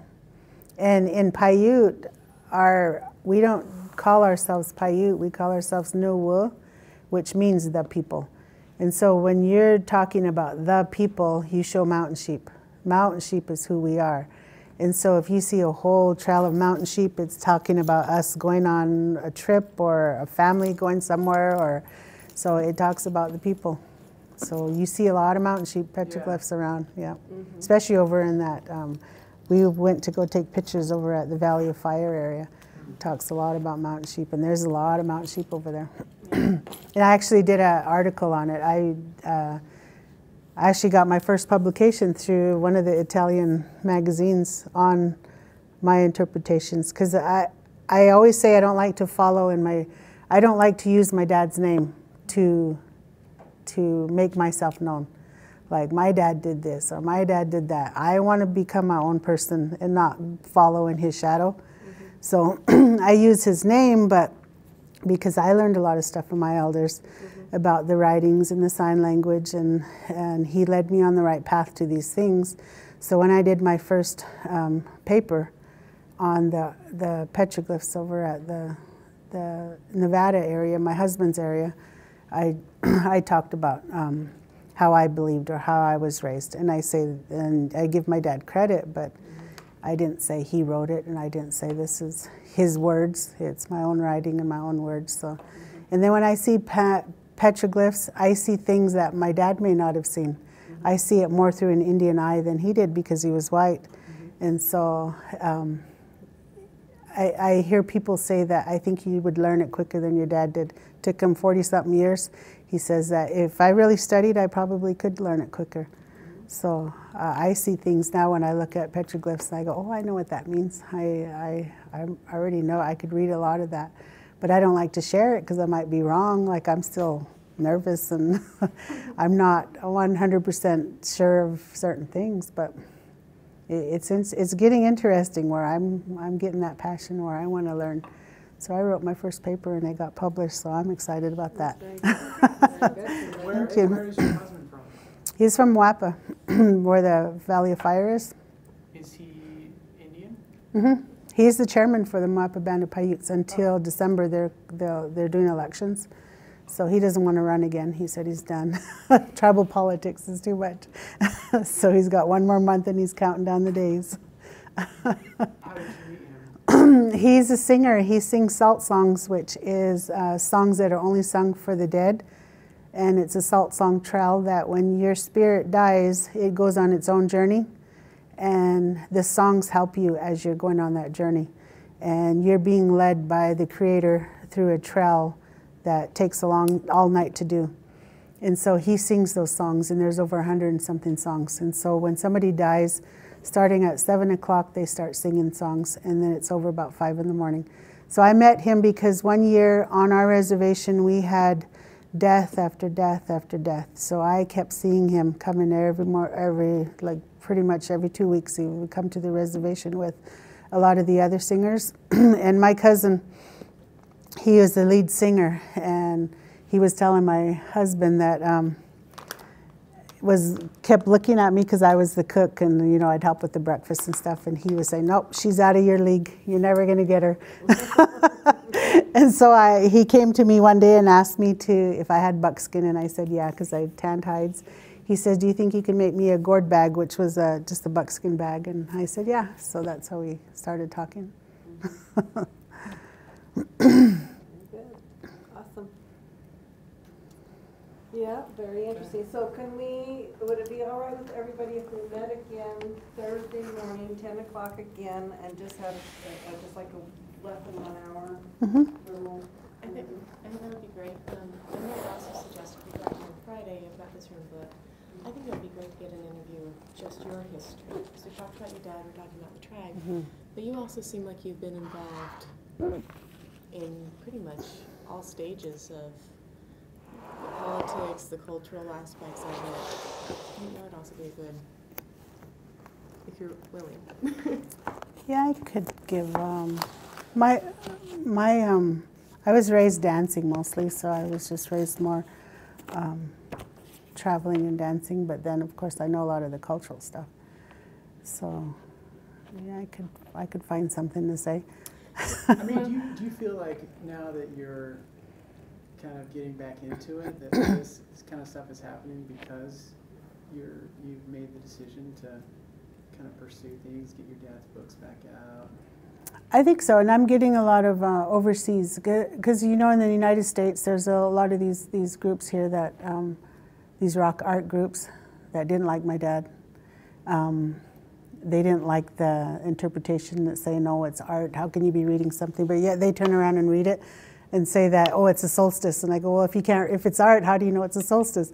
So so lately I've been getting a lot of people from overseas contacting me, wanting to to to do papers and to do articles and to talk about my dad because they believe it. They don't consider it art as much as they do over here. So, so I yeah, I've had a lot of opportunities and doors have been opening because I'm getting more into it now, and because of the dictionary book that I'm writing, um, or not writing but working on, then I, am getting a lot of new opportunities. So that's why I, am starting my Martineau archive, so that I can do.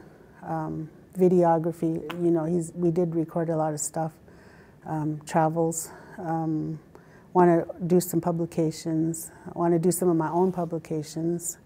And people say I should write my own history, like my dad did, the autobiography. But I don't know. That's that's like down way down the line. Even my husband says that. Yeah. You know a lot. That's interesting. You should write a book. And I go, ah, I don't know if I want to write them about myself.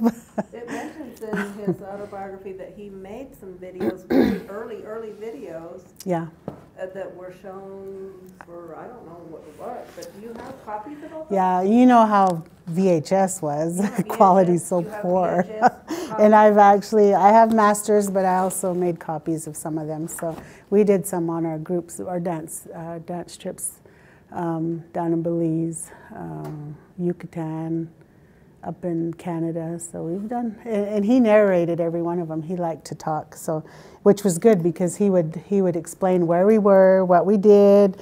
So even on videos, he was real detailed, not like not like uh, now you just put a title over something and say this is your location. Right? He was talking So through the whole thing. So I have all of them. Yeah. I don't know about protected. They're probably just laying in. I, I, I did. Put 'em in a steel I need to put sure. it. I need to digitize them because a lot of them are still VHS. But uh, and then I moved to to beta. No, we didn't move to beta. We moved to eight, high eight. Today is November 16th. Uh, We are here at the Dixie State University Library. And um, through a grant from the Washington County Historical Society, we are recording um, some of the oral history and information of uh, Shenandoah Martineau Anderson and her family.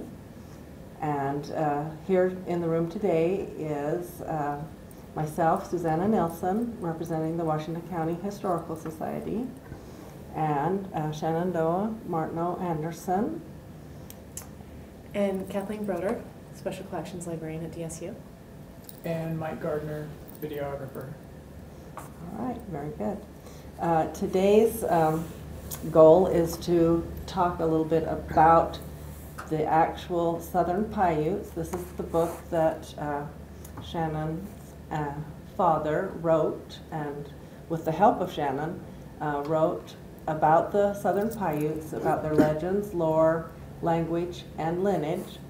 And um, we want to talk particularly about the history of uh, the Southern Paiutes and particularly about the um, one group of Southern Paiutes that live in the St. George area called the Shivwits.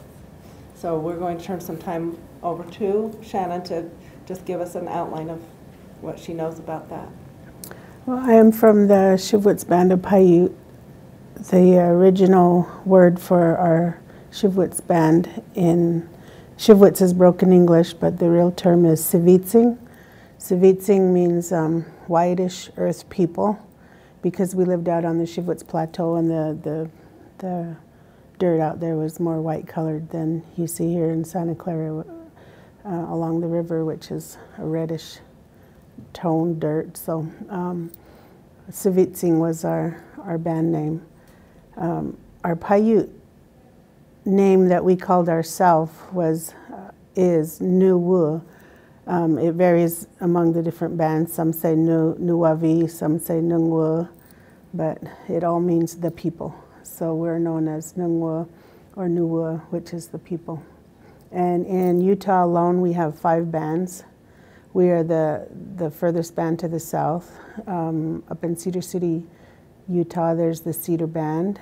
There is also Indian Peaks Band. And Kanosh Band is up north of Cedar. And then we have Richfield, we have Koosharem. So those are the five bands of Utah. And I have statistics here which says, um, actually, that's for the whole band.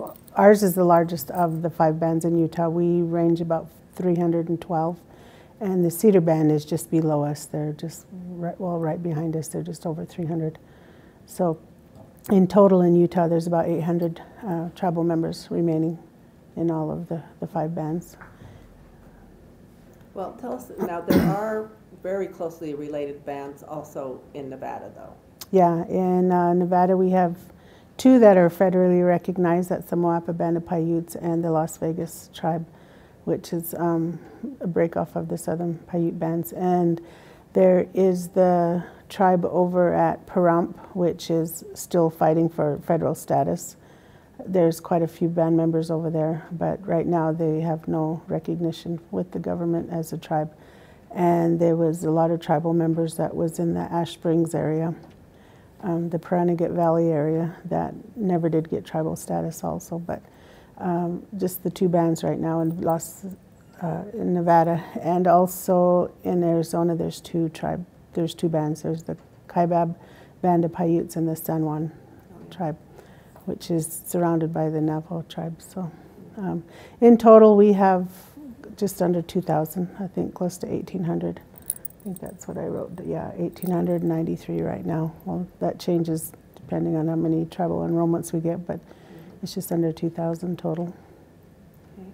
Tell us a little bit about um, what you know about your, you know, origin stories or what, just kind of the history of the, the people as a Mhm. whole. The Southern Paiutes have always been here. We have no other story of us migrating from anywhere.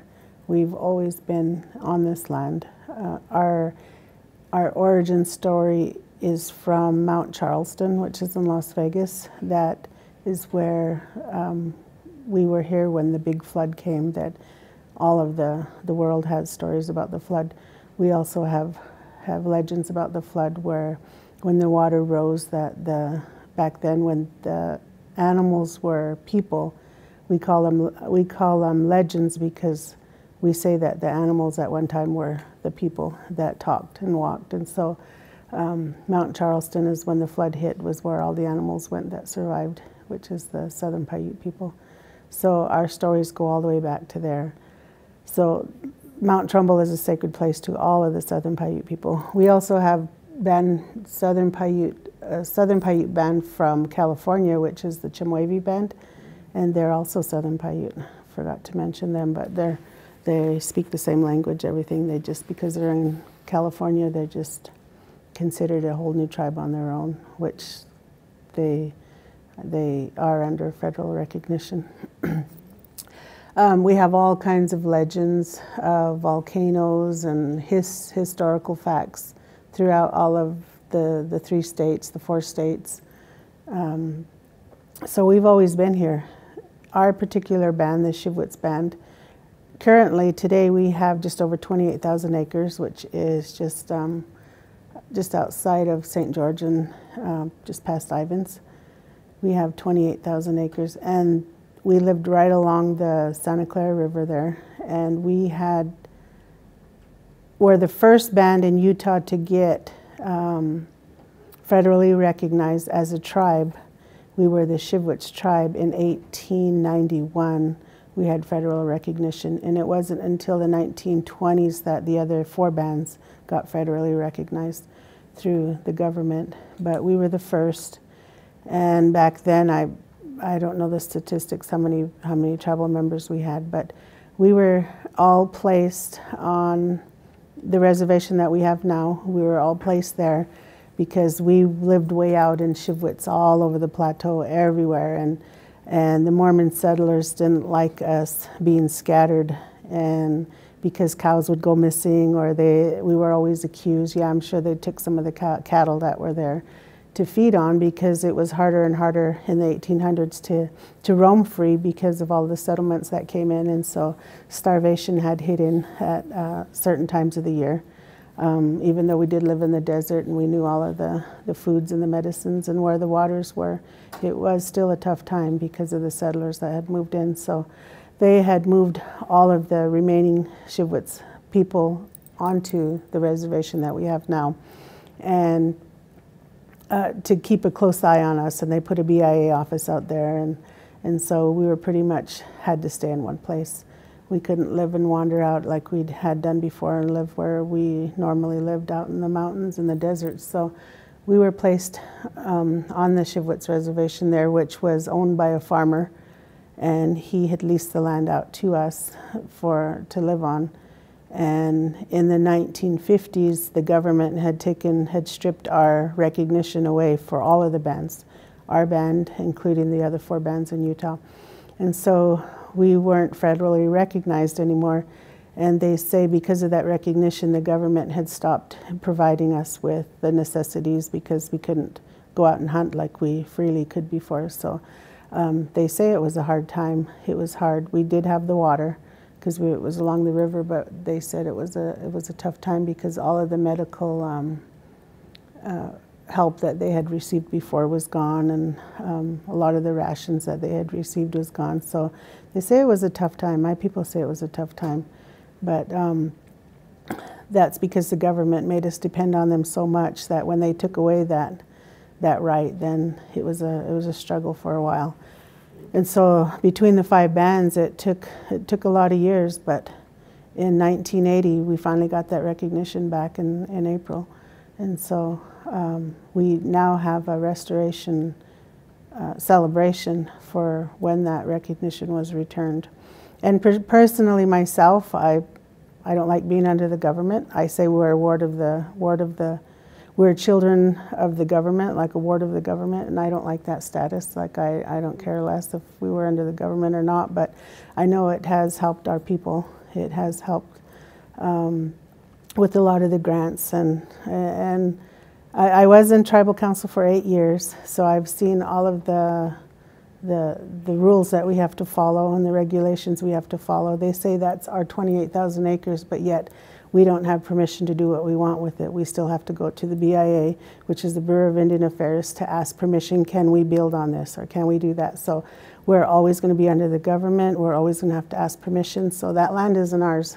Even though they've slapped a title on it that says it's reservation land, we still have to get permission. So I don't like being under the government because it's just, um, we're still being told what to do.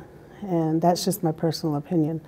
I know a lot of the other um, tribal people couldn't do without it or couldn't live without it. And I don't like getting grants myself personally because to me that's just asking the government for one more thing to, to survive.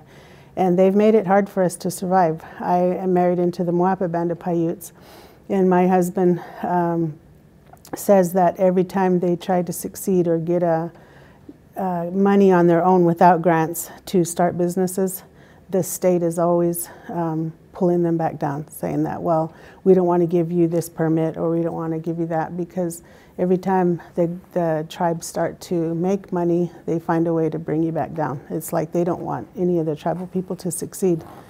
And so it's always been a struggle and it always will be um, as long as we're under federal recognition. And I've heard of a few tribes across the United States that want to remove that government assistance so that they can claim that land as their own and do what they want. And I know when casinos came in, everybody says you're a casino tribe now, you're making all that money, but you know how long it was to get money to these tribal people without being under the government? So it, it's every time the tribe succeeds in making a business, then they're put down for it or they're tried to put be brought back down. So it seems like we can never succeed as a as a government owned people. So, but that's just my personal opinion. Like I said, I was on there for eight years. and I quit. And uh, well, after the, I had four-year terms. So after the two four-year terms, I, I just said I was done. It was just time to move on. Uh, we did quite a bit for our people. We helped. Uh, I say we because my sister was also on there. She was our vice chair the first four years and our chairman for the this, the last four years. So I think we did a lot of changes and we did a lot of things to succeed. And so, um, as far as our Shivwits band, the when the rancher had had given us that land uh, on a lease, and I'm not sure what year. I, I know it could be found. We had a website up, but that was taken down. But um, one of the ranchers came to us when we had lost recognition back in the 50s that they were taxing that land and that they were going to take all of that leased land away if we didn't start paying taxes on it. And so one of the ranchers, and I can't think of the name, had paid the taxes for us, and we fought to get that land in under our own name. And so it was finally um, granted as Shivwits Reservation land, and so we that's how we got that. And then years later, while I was on term, they had given more land. Uh, the government had given a few more acres to the Shivwit. So every chance we get, we try to buy what we can back. But right now it's 28,000 and it is the largest in Utah. So we're proud of what little land we do have remaining. Even though when I look out, no matter where I look, I see I see our tribal lands that's just been uh, developed and um, it's still our land, even though it's we don't have permission to go on it anymore. That's so true, yeah, very. The five bands in Utah, you have the largest acreage. Mm-hmm. The other ones have very much mm, smaller. Very little, little, and they even fought for that. And I know that Joseph, over in Joseph, Utah, they fought for that little bit of land, and it's just right along the freeway. They give you undeveloped land, hoping you'll never uh, prosper. Mm-hmm. So they give you the the barrenness dirt, the the land that they- they think that you're never going to achieve anything on, because it's just land that nobody wants. So the they got some land back that nobody wanted, and. Um, Indian Peaks had some land north of Cedar City, and I think that's turned into a reserve now. I'm not sure how that happened, but um, the, every, all of the bands got a little piece of land back. Not much, but little, whatever they can get is, is good. I know that. Okay, I have a question about the pie in the Paiute. Mm-hmm. Is that because you are cousins to the Pi people that ring around the Grand Canyon? All those Pi Indians, the Wallapai and the Sioux Pi and mm-hmm. all those Pi Indians.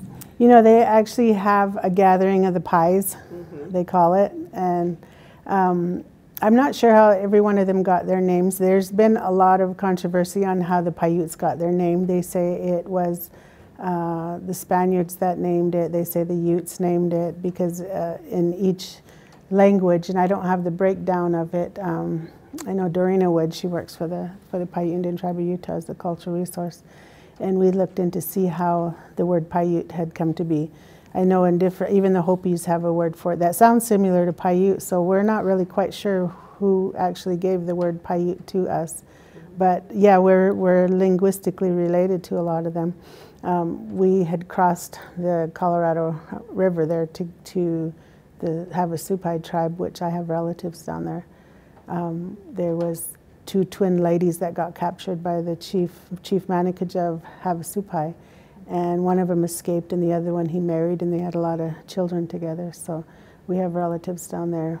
Uh, we're not, we can't understand each other. I know the Hope, the, the Hopis and even the Comanches, uh, they have that Uto-Aztecan language link all the way down to Aztec. So uh, in Mexico, so there, there's a lot of languages that do sound similar. Even the Northern Paiute have a lot of similarities, but I can't understand them. The Ute, the Ute tribe, the the northern band that we have, the the Koosharem, there a lot of those were from the Ute tribe that were just a family of Utes that had moved down, and uh, they were labeled as Paiute, but um, we speak the same language. They just talk quick, faster than, than us, but you can still understand them.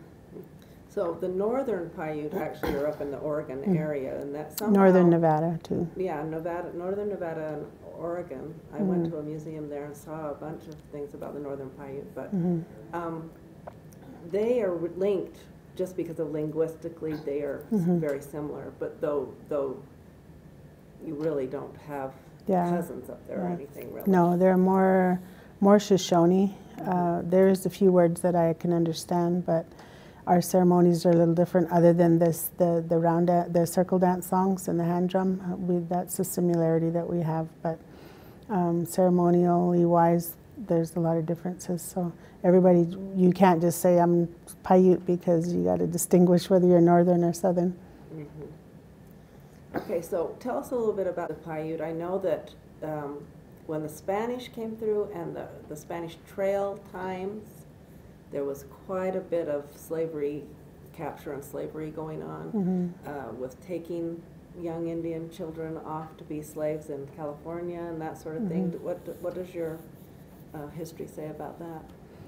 You know, other than oral history, because we didn't write a lot of things down, other than the, the really old stuff that is written on the, the, the writings on the rocks, um, we haven't really written anything too, too much on it. I know my dad wrote some stuff on it in that Southern Paiute book, but um, I don't know too much about it. I know they weren't willingly sold or, or given, they were captured and taken and stolen. So I can't really, I- don't really have a big history of, um, of that era or time. And my mom and my dad, they never talked to me about anything that concerned that, other than that petroglyph site I was mentioning about the slave, the, the, the young lady that had found her way back from Mexico.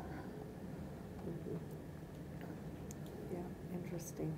So when, when the uh, actual first European, not, not Spanish, but European people came down, like the Jacob Hamblin group, Mhm. how about, do you have any idea how large a population of people were here at that time? or- They were saying they counted around 800 to 1,000 um, because we were farmers.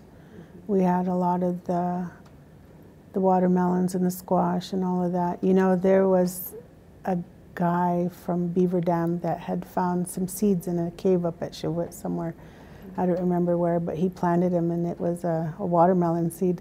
So he called it the Shivwits watermelon. And he gave us a he gave us a watermelon from that and said they'd found that in a cave somewhere. So we had, had we're planters, um, farmers.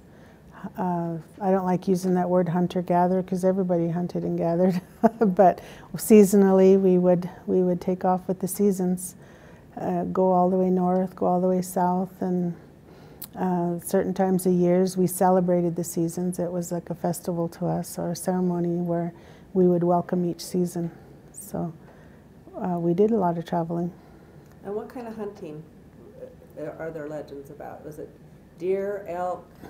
Um, what other, did they actually Mhm. have, um, you know, bighorn sheep? Mhm. um, That was the main- yeah. Or no? Yeah, bighorn sheep was the main staple of food. We have legends, a lot of legends about the mountain sheep, how we were starving, uh, and the mountain sheep came forward and said that they would sacrifice their life so that we could live. And so, in return, we honor the mountain sheep through song and dance. And also, the mountain sheep is the most powerful, and they are the ones that you see on the petroglyph to represent the people, which is us, the Nuwa people. And so, the mountain sheep is the most sacred animal in it because it sustained us through hardship, and it gave the spirit of the mountain sheep gave the the men the the powers to heal. It brought rain, so we prayed a lot for help through the mountain sheep, but the mountain sheep wasn't our God or, or wasn't ever claimed to be anything more than um, one of our most um, sacred animals is the mountain sheep. But of course, we used to have elk that came all the way down here uh, to the Shivwits Plateau till the seasons and the climate changes. But um, mostly deer, a lot of lizards. There was the Gila monster and there was the chuckwalla, um, squirrels, all, everything from grasshoppers to bugs to I know there was a grasshopper gruel they said they used to make, but I've never had it. I always say I wanted to try it. You can order a lot of those insects that through the through the mail now. So I always tell my sons bring back some of those traditional foods that we used to eat. And of course, living in the desert, people look out there and say, "Well, how can you survive? There's nothing out there." But every plant is useful. So you can find water, moisture, everything in, in all of the plants, even the roots. And so there was, wherever you went, there was something to eat. Mhm. So uh, tell us that little story about how your dad and his um, Shivwit friends went to the intertribal ceremonials and did the mountain sheep dance and started to get the Shivwits. You know, it was the most unknown tribe in Mhm. the in the United States, but then after that, it became quite a bit more. Yeah, and it was with my my relatives. I know there's the his name is Clarence John. He's still alive today. He actually does our singing for us when we do the mountain sheep dance. Uh, he taught my boys and some of the youth in Shivwits how to do the mountain sheep dance. Shivwits was the only one that ever did that dance. But of course, when they would go to Flagstaff in the 60s and the 50s, um, there was a lot of the Shivwits dancers, but they also had some from Koosharem and Cedar Band, and so they had all done that mountain sheep dance. And so when they would go to Flagstaff, and I'm not sure what time, time of year it was, but they had all of the tribes come together and they had a parade and they would do all the different dances. And so Shivwits had a, a, a postcard that said the least known tribe in America because we were so small. And so, well, actually, it was the Southern Paiute. So um, they were known for that. But because they had won the mountain sheep dance contest every year for I don't know how many years, that's how they got known, that people started to know who the Southern Paiute were. And so when we um, were chair, well, when my sister was chairman and I was on council, we always say that we are at least one of the least known tribes in the United States. And so we thought of ways to bring awareness to it and to just get people out there. We do have a, a Shivwits princess that goes to all of the celebrations that introduces herself from Shivwits and from St. George. And I know one year, well, growing up here when I was younger and then coming back every year, everybody knew we were, were Indians going into the store. Oh, are you from out from the reservation? And then it was probably in the 90s, all of a sudden, uh, they would talk Mexican to you or Spanish and just say, oh, um, thinking that, that we weren't here. And then I got to thinking, do they even know there's a tribe that, that is from this? This was our, our land. Does anybody even know about us?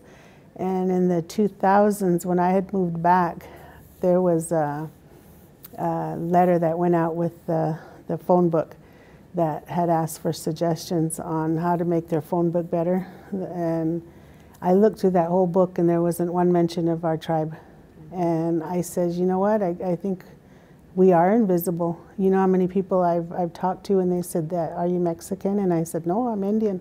Oh, what tribe are you from? Where are you from? And I would say, from here. Nobody knew we were here. So I just um, said that we're like the invisible people. So I wrote to the city and I said that you need to acknowledge that we exist still, that we're not gone. Yeah, we're, we're only, well, back then, we just under 300.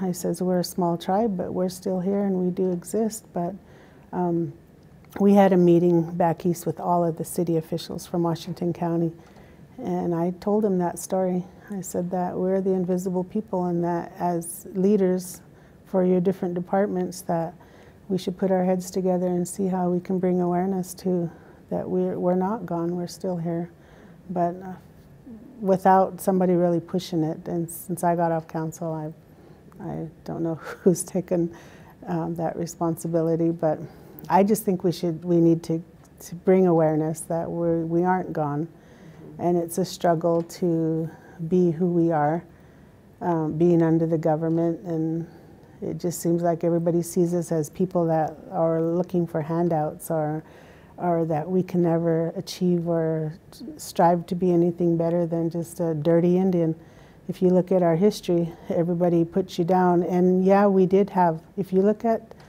the internet, we aren't a beautiful people. We're living in the desert with barely any clothes. Our hairs were all cut.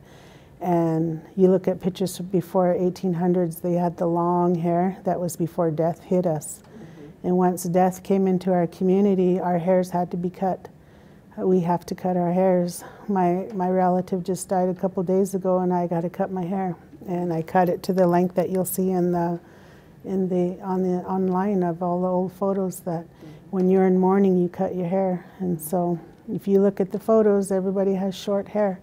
If you look at those baptism pictures that they had here, they all had short hair. Every one of them had lost it. And you, you cut when you have an immediate family member die. And so you look at those pictures and they're sad.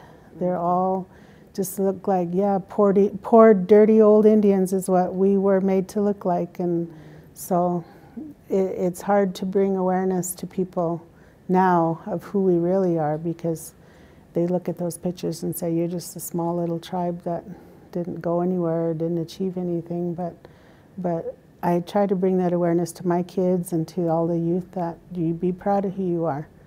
You stand up for who you are. And we actually did, uh, um, all of the bands got together, Arizona, Nevada, Utah, to do a curriculum for the Washington County School District, which was the, probably the sixth and seventh graders, or seventh and eighth, I'm not quite sure. But we all gathered at one of the libraries and we talked about how to to put that curriculum together for the kids. And the teachers there that were there to help us we told them what needed to be added and they said nope you're not going to add that. And we said why? But you're hiding the truth. And they says because if you add that then all the parents are going to get mad and say what are you teaching my kid that you're teaching them that we um, the pioneers had murdered killed um, the the whole tribe. He's, they says you can't do that, and I said, so you guys are telling a lie then, and they says yes to keep the parents happy. We can't we can't disclose what really happened in history to your people, and I was I was upset, but they were doing their job. It's not their fault. so that curriculum is out on the Parashant National Monument website. If you click on teachers link, you'll find it and that's what I teach around to the libraries and the schools is that I take that culture gram and I, have added to it and added photos to bring awareness of who we are, that we're not a poor, desolate tribe where we may be small, but we still have pride in who we are. Mhm. Very interesting. I think the, the, the truth about the history, I think the, the climate today is a little Mhm. better than it was, Yeah, but even five years ago. yeah, it is. of recognizing that sort Mhm. of thing. Um, Let's see, what else? Um, I've got a question, if you don't mind. Um, I know a lot of my students tend to be interested in that time period where Native Americans were put on reservations, and a lot of the stories we have are from the white side. What was Mhm. it like for your people when they were first put on the reservations in the 1890s? In the 1890s, um, you know, they still hunted, they still snuck out, and they did a lot of the things that, that they could get away with. But uh, they had to make ends meet. I know they had gathered that yucca root, and they would go into town and they would sell it for soap. And so they found they found ways to make a little bit of money. But back then, they didn't need a lot of money as long as they had uh, the food. And my husband would tell stories that um, back in when he he was a child that they fed seems like they fed at least 10 families in one household. And it just seems like when you put every, everybody puts the as a community together they, they seem to manage. And so yeah it was hardship but they ate the, the, the rabbits and whatever means that they could. But they say it was hard. Um, it was hard because a lot of them hid out and didn't want to come to, to live on the reservation or even um, just didn't want to come to town to be known or seen because they tracked every single person and they, you know they did the censuses and so they didn't want to be a part of that. So there was quite a bit that hid out. But um, I don't think other than if you lived on the reservation I don't think it was that hard other than a lot of hiding. I know they said that they hid a lot because they didn't want to be shot or or accused of stealing something that they didn't steal. And so um, it was just it, it was a tougher time of how to be sneaky, I guess, and to survive without being seen. Okay. Um, did the Paiutes have the same that a lot of the other tribes did with um, being sent off to boarding schools? hmm Yeah, and that was more in the, the 1900s. I'm not sure because I don't know. I know a lot of them went off to California and a lot went off to Kansas and Oregon, and so they did go all over. And they went to a lot of the Mormon placement homes. And I know of a lot of my relatives that snuck away and didn't want to go back, uh, and some of them that liked it, but uh, they were a lot of them were shipped off. And we had a project one time where we were going to go to all of the, the boarding schools and do a ceremony because a lot of them had died and never come back. And so we did lose a lot of the children through boarding schools. So, how did the tribe fare during the Great Depression? And from there, um, you said they lost their recognition in the 50s, and what caused that loss of recognition? I'm not sure, and I, I didn't really, I, I did have something in the, it's written, I think, on that, the, in the Utah, in utahpaiutes.org. It might have a little more history on it, but I'm not sure who the president was at the time and, or if it was Congress, so I couldn't give you details on that, but I know it's in the, it's online, you can find that. How did it affect the tribe when they lost recognition? They say it did, but you know, like you said, the depression where a lot of people depended on money back then, I don't think it was any harder than it was without the depression because we still knew how to live off the land. We still knew how to provide and get the food, and so that depression just meant you didn't have the money, but uh, other than for fuel and for gas, I guess, for if you had were cooking cooked on fire campfire. So I don't think it hit the the Paiutes as hard as it would uh, of the pioneers because it took them money to survive and it didn't take us the money just just the knowledge to survive and the skills to survive.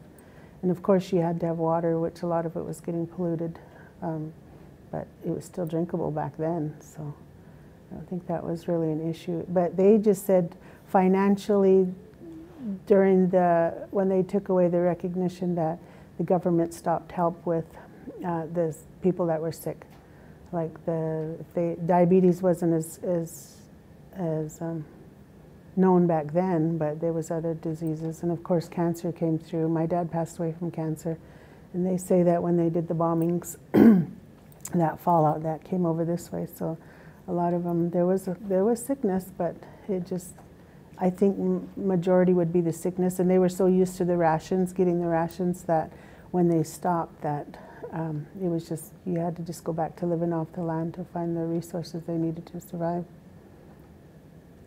So when the Gunlock Res- the Santa Clara River that ran through your reservation, hmm because that dam is right there at the right at the end of your Mhm. reservation lands.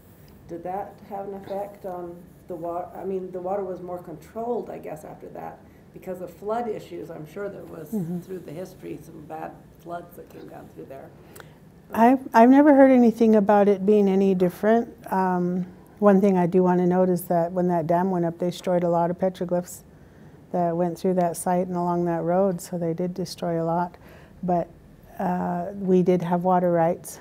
The worked with Ivins City and City of St. George to ha- retain some water rights, and so it seems like we've always had the water. And of course, back then we had farms and along the the reservation water line there, and then we had the, the fruit trees that are cut down now, but we did have means to survive and plant things, so water wasn't really an issue. I know we have an economic development fund right now that is because of the water rights.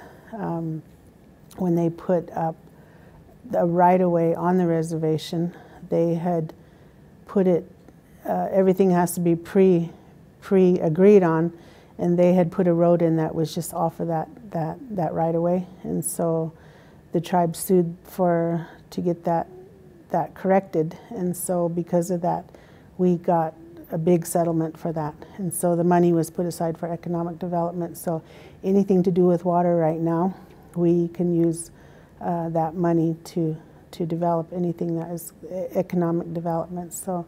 So we're good financially when it comes to economic development, but it's just which companies or who do you want to bring onto the reservation that's gonna that's gonna benefit our tribe. I know there's some things that we still have to follow under the Utah state laws. I know we had a lot of um, issues with tobacco, selling tobacco on our reservation because we have a convenience store.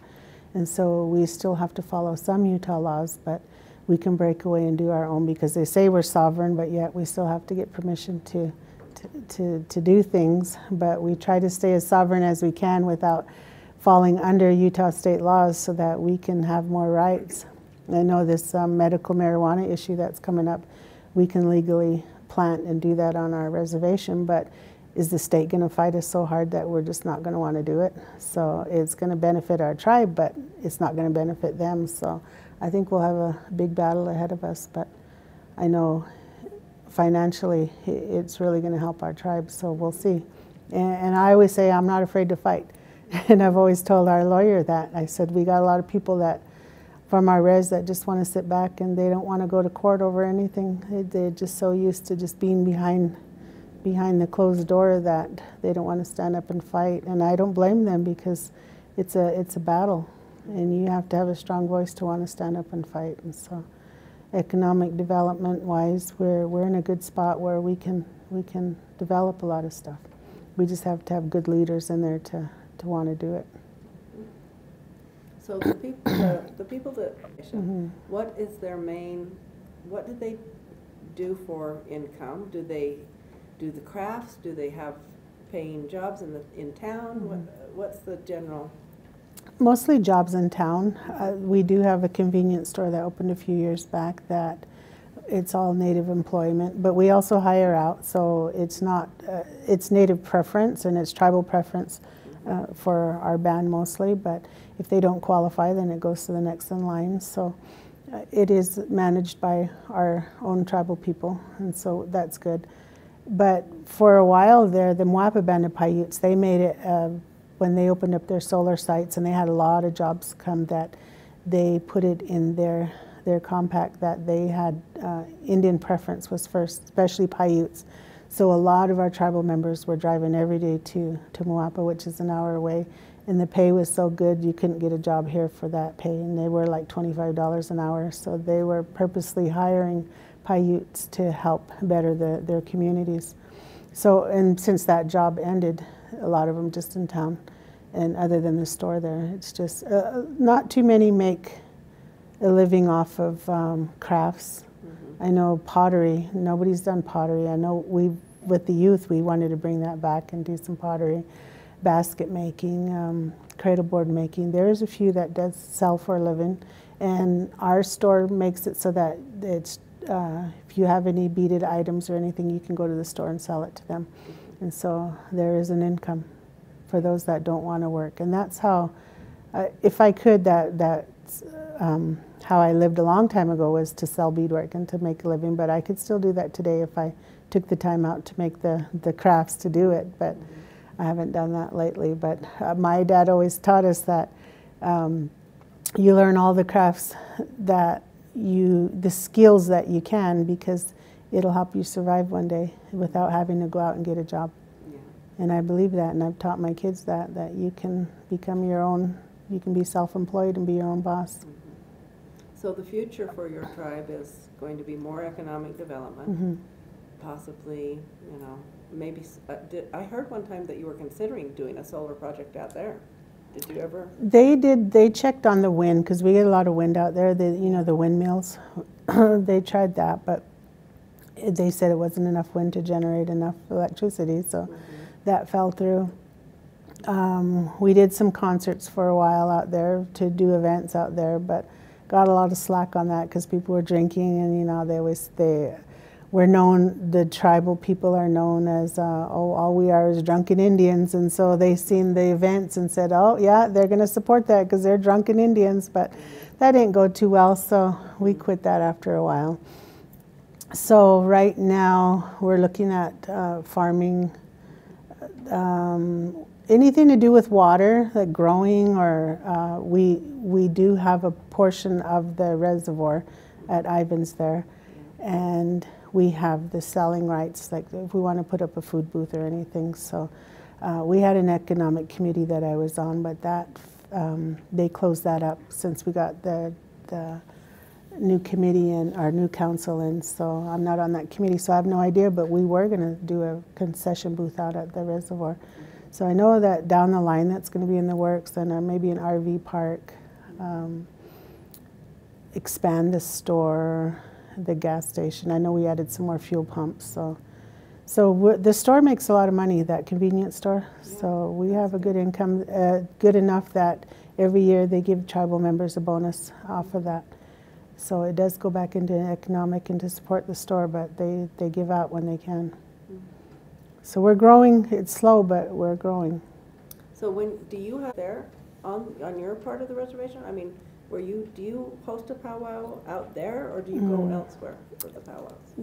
Powwows isn't uh, a Paiute tradition Okay, because they dance borrowed dances from other tribes. So um, powwows is off. We we've had held a couple through the years, but we go off to other reservations that hold them, and you can dance for competition in each of the categories, or you could just go to dance for fun. So when I tell the youth, because they always say, "Oh, powwows is my tradition," and I say, "No, it's not. You have to know what your traditions really are and what your dances are." For the first years, year that I was on um, tribal council, which is the four years, I did four years of our traditional dance, which is the round dance or the circle dance. So for every spring, we would hold a round dance for the four years.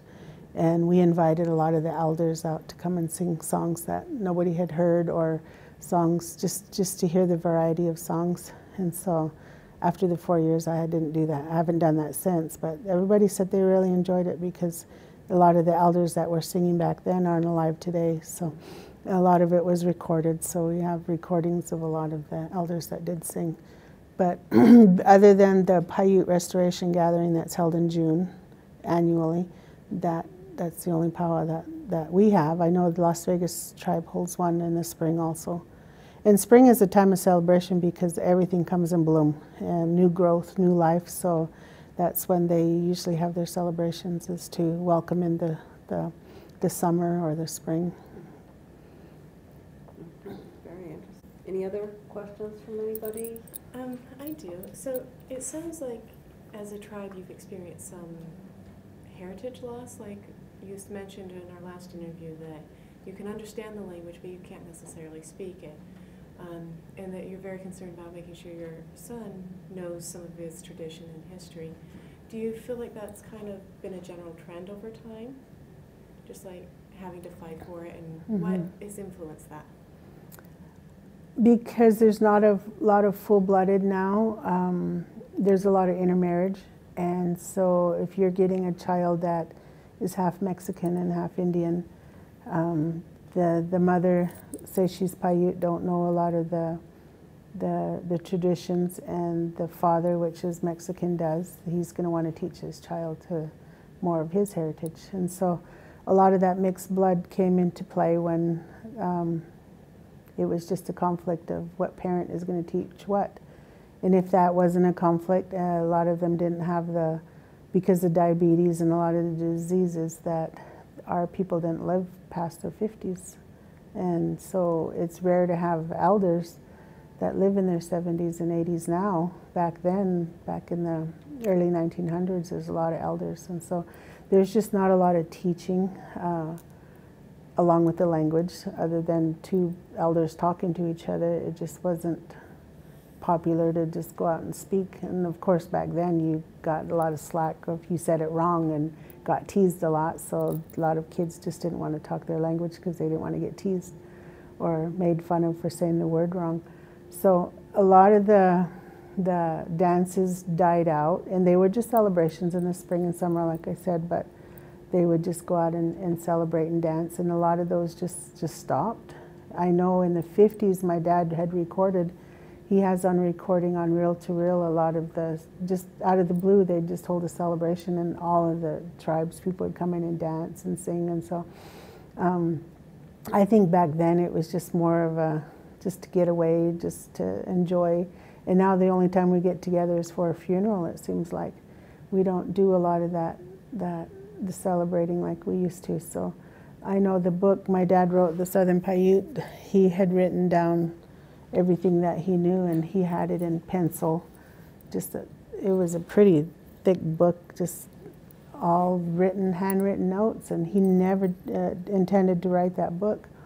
And my sister and I, back in the early 90s, when they had the huge Macintosh computers before the laptops, um, he was doing a project, and we told him, well, why don't we just type all that up into book form? I says, I wouldn't mind reading it one day, because I couldn't read his notes. And so he says, if you got girls want to do it, go ahead. So every day, my sister and I took turns, and we just typed what we could. And because he was right there, he would tell us what the the word was if we couldn't read it. And so we got that book together. And because of that book in book form, it was just for us. Like it was for me. I say that book was meant for me because um, I wanted it in book form. And so we had it to just look at every, whenever we wanted. If we wanted to learn something and my dad wasn't available to tell us, we would just pull out that book, which of course was just printed out on just just thrown together in a little folder. And so the publisher seen it and said he'd publish it just as a favor. And so it was published, and we gave it out to a lot of our friends and relatives, and they say that if it wasn't for my dad and all of that he had preserved and shared with everybody, that it would have been lost. And so um, he does mention in there that there's some things he couldn't add because he didn't want, I guess it was meant for Paiute eyes only. And so I actually have his originals, and I was going to go and compare and look through that and see what they were and then just share it with my people if it was something of interest. So that's on my to-do list is just to go see what was left out that we could share. So now I tell everybody from our tribe or whoever wants to listen that you have to write it down. If it's not written, nobody's going to believe you. We're so used to oral history and that we tell our stories, um, legends in the winter and history throughout throughout the year that uh, it's going to change from one person to another. It's not going to be the same. So that they need to write it down. Otherwise, nobody's ever going to believe it ever happened. And of course, if you get a book in the library, they're going to believe that over what you say and you know or you've lived. And so you have to write it down. Otherwise, our, our history is going to be uh, different. I know one time the Paiute Indian tribe of Utah had a, a whole segment on who we were as, a people. And I went and looked through that and I thought, who wrote this? Because they were talking about things that we didn't do. They said there was a stick sticking out of a basket in the back that the lady would lean on. And I go, I've never ever seen that. Who wrote this? And so I guess it was one of the workers or employees had copied it off of a book and kind of changed it around. I said, so, so see what you're getting off of the books isn't true. A lot of that, it was just they, they were putting down the man in there, and I thought, that's just, that's not us. Our own people need to write our history because then it's the truth. So I, I stress that, that you need to write it down. Don't, or record it or film it. Don't just uh, oral history it because it's not going to be the same. Very good. So LaVan, he was the first one to write down a history of the local Paiutes here? There was a lot of other books written, and it was William Palmer that did a, the majority of them. And my dad knew William Palmer, and he said he glamorized it. He glamorized all the legends. He made it look so that people would want to read it. So he fairy telled a lot of it. And so, because my dad would read through it and say, well, that's not how it really happens. And William said, well, I had to glamorize it to sell. So there was other books written. And a lot of the photos you see that were staged, he dressed them up. I don't know where he got it. He's, he called them costumes and he'd throw it on a Paiute and say it was Paiute, but it wasn't. So um, he was probably the one that did the majority of the history of the Paiutes. But I've, I have a collection of them. There's probably 10 or more books out there on Paiute.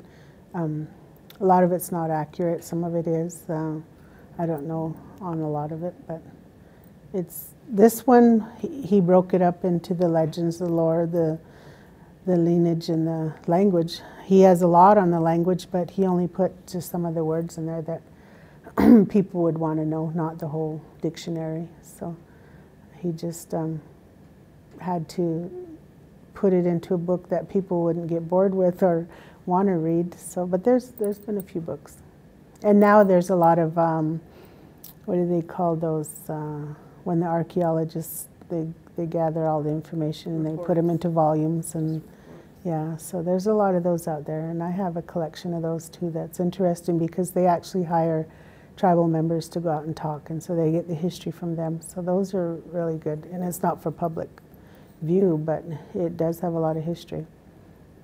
So do you, do you know when the first outsiders came in? Do they have, do you have a, a history of that? We don't, I've never read anything on that. Um, my dad wrote everything he could on that history, and I've never seen anything that said that the first first time they've ever seen seen a stranger walk into the land have no no history of that. That'd be interesting to know, though, if it was written down. It could be written on a rock somewhere. Yeah, we could. Because I don't think we even know where Santa Clara got its name. And but your people were here hmm when it was, when it got its name.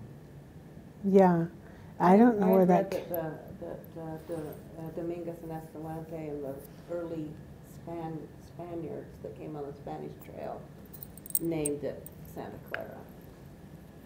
That's what I've read in the history somewhere, so it was Mm. pre, um, you know, any kind of LDS missionaries or anything, it was Right. pre that, that it was named that. And a lot of our tribal or um, the Indian names that went to each of the landscapes is all gone. I know my dad in that book had written a lot of them that says place unknown, but the, the name's there, but the place is unknown.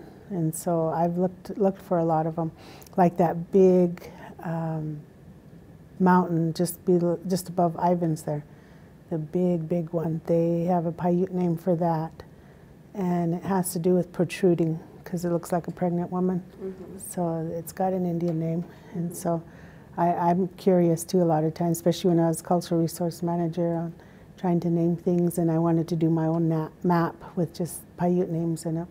But when you're on council, you have so much other duties; it's hard to sit back and do one specific thing. I'm sure the Paiutes had a name for the river, hmm Santa Clara River, I'm sure they had a particular name for that, and hmm many other things. Yeah. The one thing that we didn't like was they would slap the Navajo name on a lot of things. Navajo Lake, Navajo Trail, because there were people that weren't originally from this land, and so for them to be naming them for everything, and we tried to change names once in a while, but it's hard. They say, oh no, we can't change it, it's been there too long, or it means more to have that name.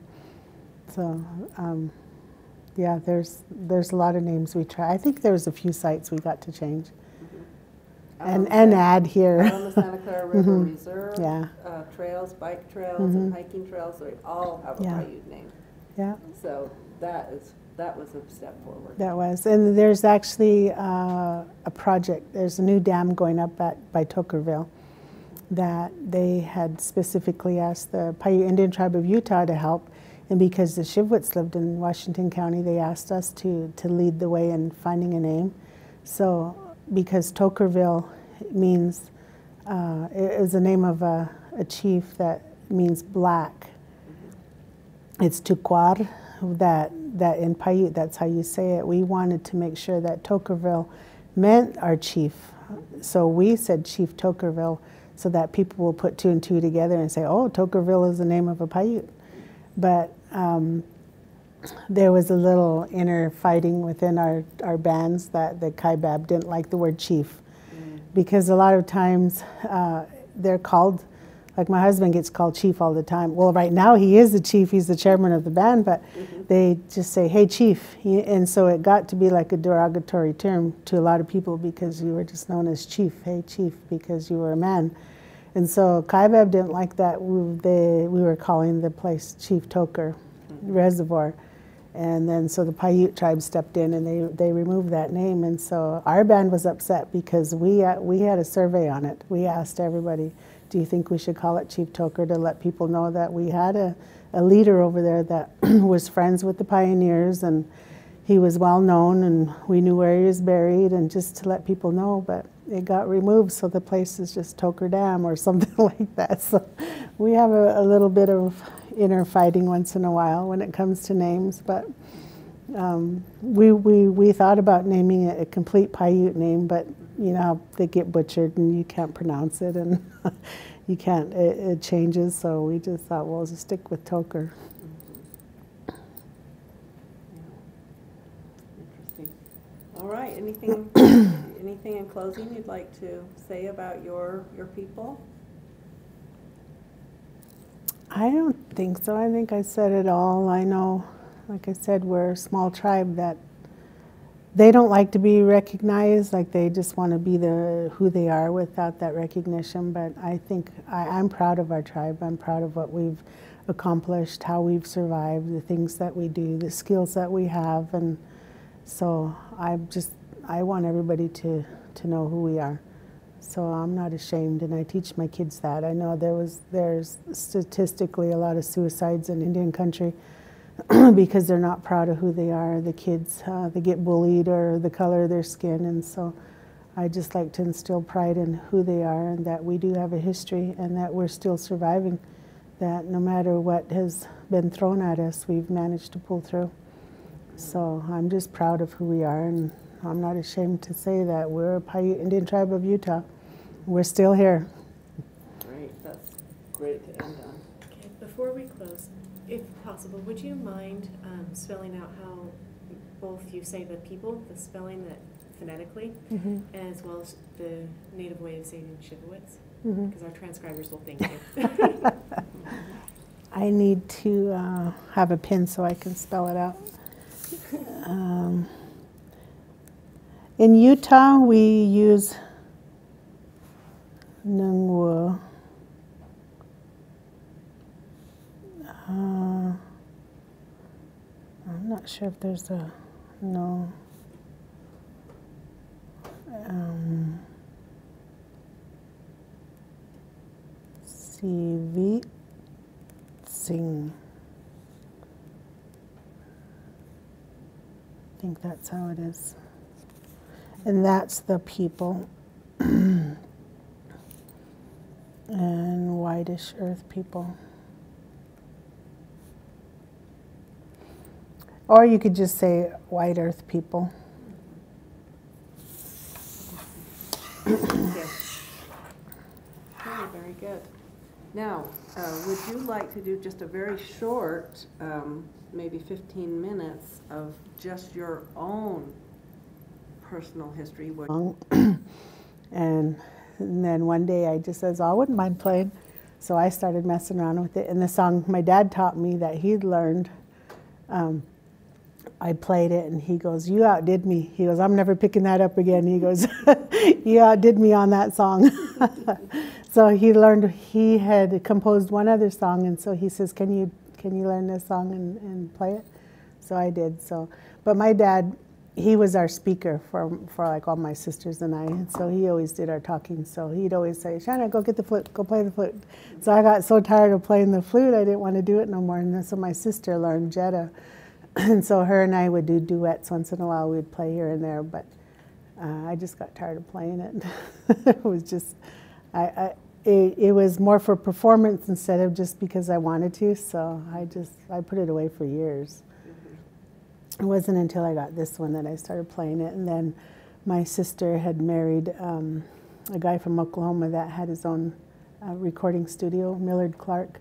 He had Indian sounds, and he says, I want to record you and put you on a CD. So I did, but I wasn't real happy about it. I did it just Oh, I have a because. Do you? have a copy. Of course, uh, I'm never happy with my voice or my songs or anything, so I, it was for the people. So as long as I don't have to listen to it. All right, shall we start, uh, you're going? Uh, Now, uh, again, on November 16th at DSU in, the, uh, up in the archives area, and we are talking with uh, Shenandoah Martineau Anderson today about her life um, as a native uh, person living here in St. George, Utah. And she is going to tell us a little bit about her life and her um, works throughout her life with her tribe, and also demonstrate some of her uh, talent.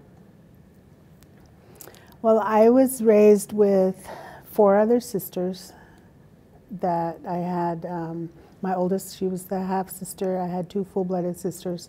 Then we adopted a little girl. She was Apache.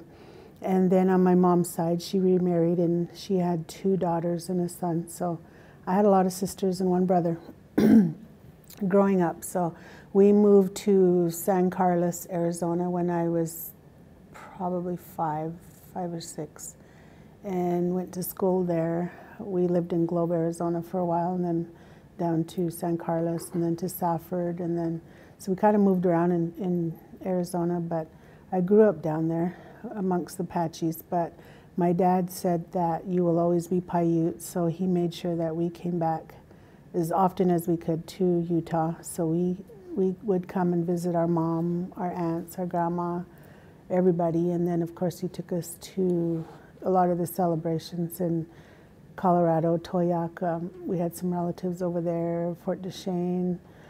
so we grew up dancing. My my mom, when her and my dad were together, she had done a lot of beading and outfits, and so we had this little buckskin dress that we all had as a hand-me-down, and it was really nice. And so we all learned to dance at a young age. And our dad, he loved to travel, so we'd go around every summer to powwows, and it was to Canada, all the way back east, uh, Washington. We had a little powwow circuit, we called it, that we'd go around and just dance at. So we grew up on the powwow trail, um, grew up in a teepee because we would put the teepee up every weekend. And wherever we traveled, we were known as the family with all the animals because we'd pick up an animal here or there. We found a little baby skunk that we took with us to powwows. We got a little hawk one year that we took to with us to powwows. Um, we'd have uh, snakes. We would keep it for about a week and let it go, but we had um, we had a porcupine one year, coyote, a fox. So we've had a variety of animal, animals that we always traveled with. And so we would just powwow all summer. It was just, I remember they were just so fun just going around and we met a lot of people that became family. And so uh, we, we just lived the powwow, I call it the powwow trail, powwow life. And of course, my dad wanted us to grow up Indian. He was half white, but he he made us, and, and it, that seems like a harsh word, but it was more, it was our life that we would go sit with the elders. And I remember sitting at the feet of a lot of them, and they would tell us stories. I don't care if it was uh, about their legends, about us as women, our do's and don'ts, what we could do, what we couldn't do, um, taught us how to bead. We learned a lot of their secrets when it came to tanning hides. Um, doing quill work, even dyeing quills. So we grew up learning a lot of the traditions, and our dad made sure that we we could learn everything we could. He said that would help us throughout our life to if we ever needed to sell arts and craft to make some quick bucks or quick money because he did that. He made arrowheads every weekend. Seemed like he was always sitting there making arrowheads to sell. And he would sell them for a couple dollars, but it was enough gas to get us to the next place. And then when we got older, we would sell stuff. And to this day, we sell items. that uh, beadwork goes for a lot of money nowadays, so you can make a lot of money. So we grew up just traveling, spend the winters at, in Arizona. And um, because he recorded a lot of the petroglyph sites, we would take off uh, every weekend and go somewhere and record, walk miles and miles and miles, especially in the summer. I remember being in the summer heat, just traveling and recording sites. So we grew up on the ground, grew up um, sleeping on the ground, grew up in a teepee. Even in the winter, we'd put our teepee up next to where we, wherever we stayed, and we would just live inside the teepee. It was it was nice. Our, we had a close knit family, all my sisters and I. then through the years, um, they we would we would leave, but we'd always seem to come back. It just seemed like we wanted that family togetherness. So we never permanently just moved away and never came back like a lot of people do, where they move all the way across town, town or across the world somewhere and you don't see them very often. But we were always close growing up. So we would teach at schools when we were old enough. Um, the Hualapai tribe invited us since the early 80s to teach anything from my flute here to dancing to showing arts and craft to tanning hides, everything. Anything we they we'd say, well, let us know what you want. We'll write it down, then we'll come for a week and teach the kids. So we would teach at different schools. We taught in Havasupai. We taught um, a lot of this the schools and the camps that they had in Canada. So uh, that was our skill was just arts and craft. I never really had a real job my whole life. It was either dancing because you can make a thousand dollars a week if you are good enough at dancing. Um, to selling selling something for a thousand dollars. So it just depended on we never did have to have a job. So our life was just traveling, and I missed that. Um, I got married, and of course, when you're married, you can't go off as often as you can. so uh, I miss traveling, but that's what we grew up doing. I when I moved back to um, Utah, it wasn't until the year 2000, my dad got sick and then he eventually passed away, so we buried him up here. And so I just stayed here. and then I got on tribal council for eight years, and I got off in 2017, so just been over, it's going to be two years coming up that I've been off tribal council, and so I want to get back into traveling and doing a few things. Now that I'm off tribal council, um, a lot of my dad's work that he had done and recorded and he did a lot of maps and and he has a lot of notes and pencil that I'm starting to I want to put into book form. So I talked with my sisters and we got the Martineau archives up and running to where we can start uh, publishing his books and put on digital format a lot of the stuff that that he has and even do videography or just do some short films of things and so um, whenever well they haven't they they have they all have jobs we kind of all live in the same area so we're within distance of each other to visit or to do projects but that's my new project is to just work on the Martineau archives that my dad left behind and um, that the work with the petroglyphs and um, to start traveling. I actually just got a letter this morning that said that my first article I did was just published worldwide. And so she says, You're published now, she said. So just to keep it up. So I'm kind of excited. I haven't read it yet, but well, I've read it because I wrote it, but I haven't actually seen it on paper. So it was done in Italy. So she says, You're, You'll be well world known instead of locally known, which is fine with me because it seems like you have more issues and fight with the locals than you do with other people because they've lived here and take claim to this land and say, well, you don't know that or so. So I'm just venturing off, trying a variety of things and see where it goes. I'm getting back into dancing. I started um, uh, being a little healthier because I am older now, and so trying to eat better and lose the weight and get back into dancing, get my kids back into dancing. They were little and they danced, and I made them some nice outfits. And they outgrew it, and so they don't have any. So I'll eventually just make them some outfits, and we'll go off to go dancing and um, stress to them, uh, show them a lot of the sites that we've been to. I've never taken them to San Carlos, where I grew up, and so I told them maybe by summer we'll go hit the road and go see where I grew up and the things that I did, because my two boys, they're teenagers now. They they think they know everything, so I have to show them some of the stuff that I know, and hopefully they'll retain it and want to do take my path. I, I always stress to them that well, this is what I wanted to do when I was younger, but I never got to do it. So maybe you'll want to do that, and they just say nope, no, mom, I got my own things I want to do. but they're I try to teach them as traditionally as I can, but in this modern world now where everybody looks down at their phone or they have a game, it's kind of hard to to instill in them how I was raised because we didn't have that. We didn't have the TV. We didn't have we had a little black and white TV, but so back then it was so much easier to learn and th- there was a lot of elders. Now we have maybe a couple that I can take them to and that's it. And so they still know the language, but my kids are so into their little modern things that they want to do that it's hard to say, let's go sit down and talk to somebody. So times have changed, and I heard somebody say not too long ago at a meeting that we're we're a dying race, and that if we don't keep our blood and we don't continue to teach our kids that we're going to melt into invisibility. Well, I feel that now, but it's just a struggle. It's, it's hard to stay in modern society and still be traditional. A uh, flute song. Yes, we'd love.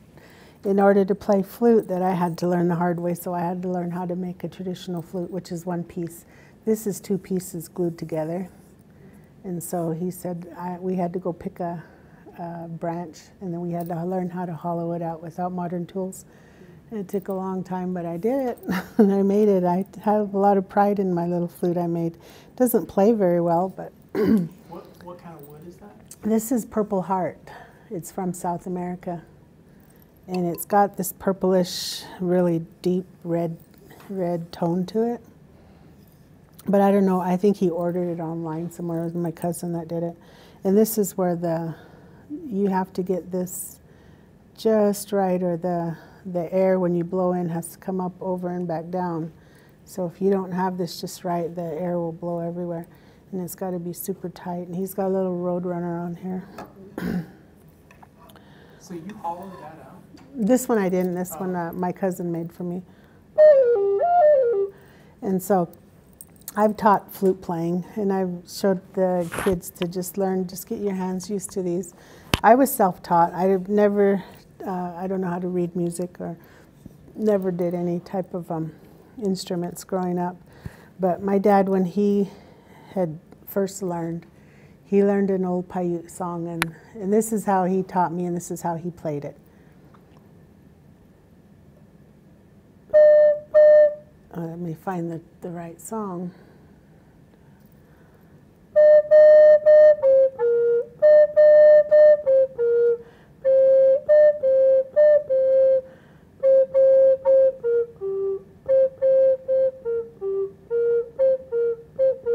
He taught me that one. and he says, Well, let me see how you play it. So I, I took off from him. I didn't want him to see me play it. So I came back and I learned it. And he goes, Well, you outplayed me. I'm never playing again. So I just learned to, well, because I was self taught, I just played it from my heart.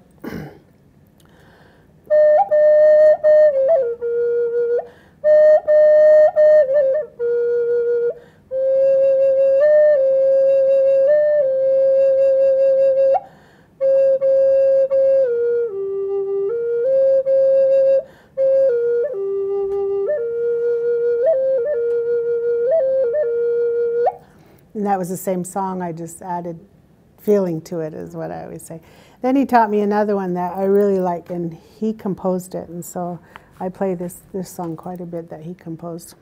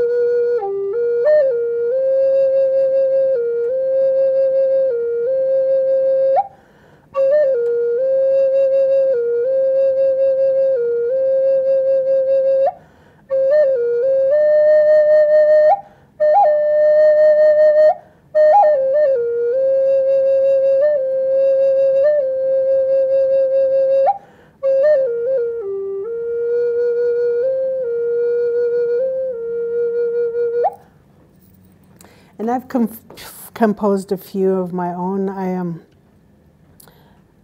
I just enjoyed it for a while there. I just would just sit there and just learn songs. And then I learned that I used to get a lot of the songs in my dreams.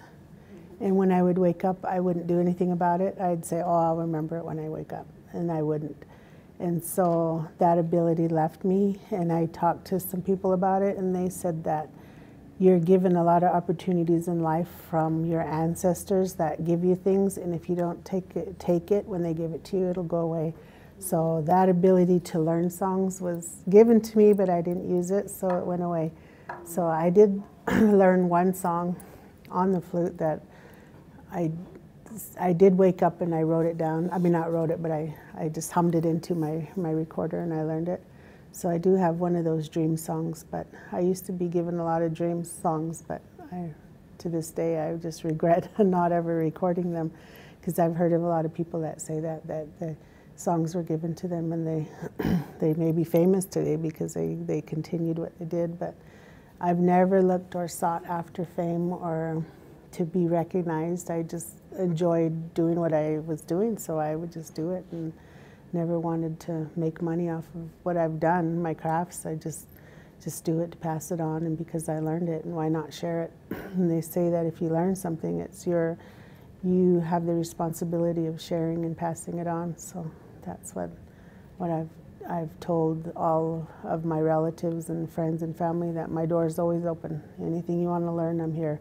So around deer season time, they'll bring, bring me their deer hides, and I'll say, well, I'm not tanning it for you. You got to come here and uh, I'll show you how to do it. So I get some offers where they want to come and learn. So I just, any, whatever they want to learn, I'm willing to share. Well, thank you so much Mhm. for all your knowledge, first of all, and all of your um, willingness to share with uh, those that need to learn these things. What music forms did they have? Uh, the Paiutes did. Was it just vocal song, or did they have instruments? They had the drum, but that went with music, which was circle dance songs. They had quail dance songs. They had um, the mountain sheep songs, but they were just songs that talked about the land. They talked because they were so grateful for all that was given to them that they were giving respect and honor back to what was given to them for survival.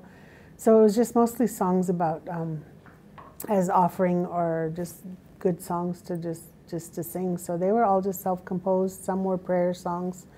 Um, they would play flute, and it wasn't nothing ceremonial other than the rattle, which was the gourd. They would uh, that was for ceremony, um, but the the hand drum was for singing and social, and so it was just hand drum and flute as far as I know. I know they had the violin with a lot of the tribes. I know in Mexico they have a lot of the people that had played violin and certain types of stringed instruments.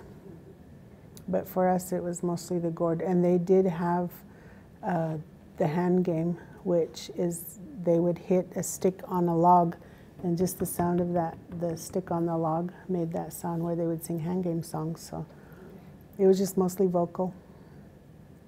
Okay. Interesting. Mhm. Thank you so much Yeah. for your time and coming in and sharing all this information with us.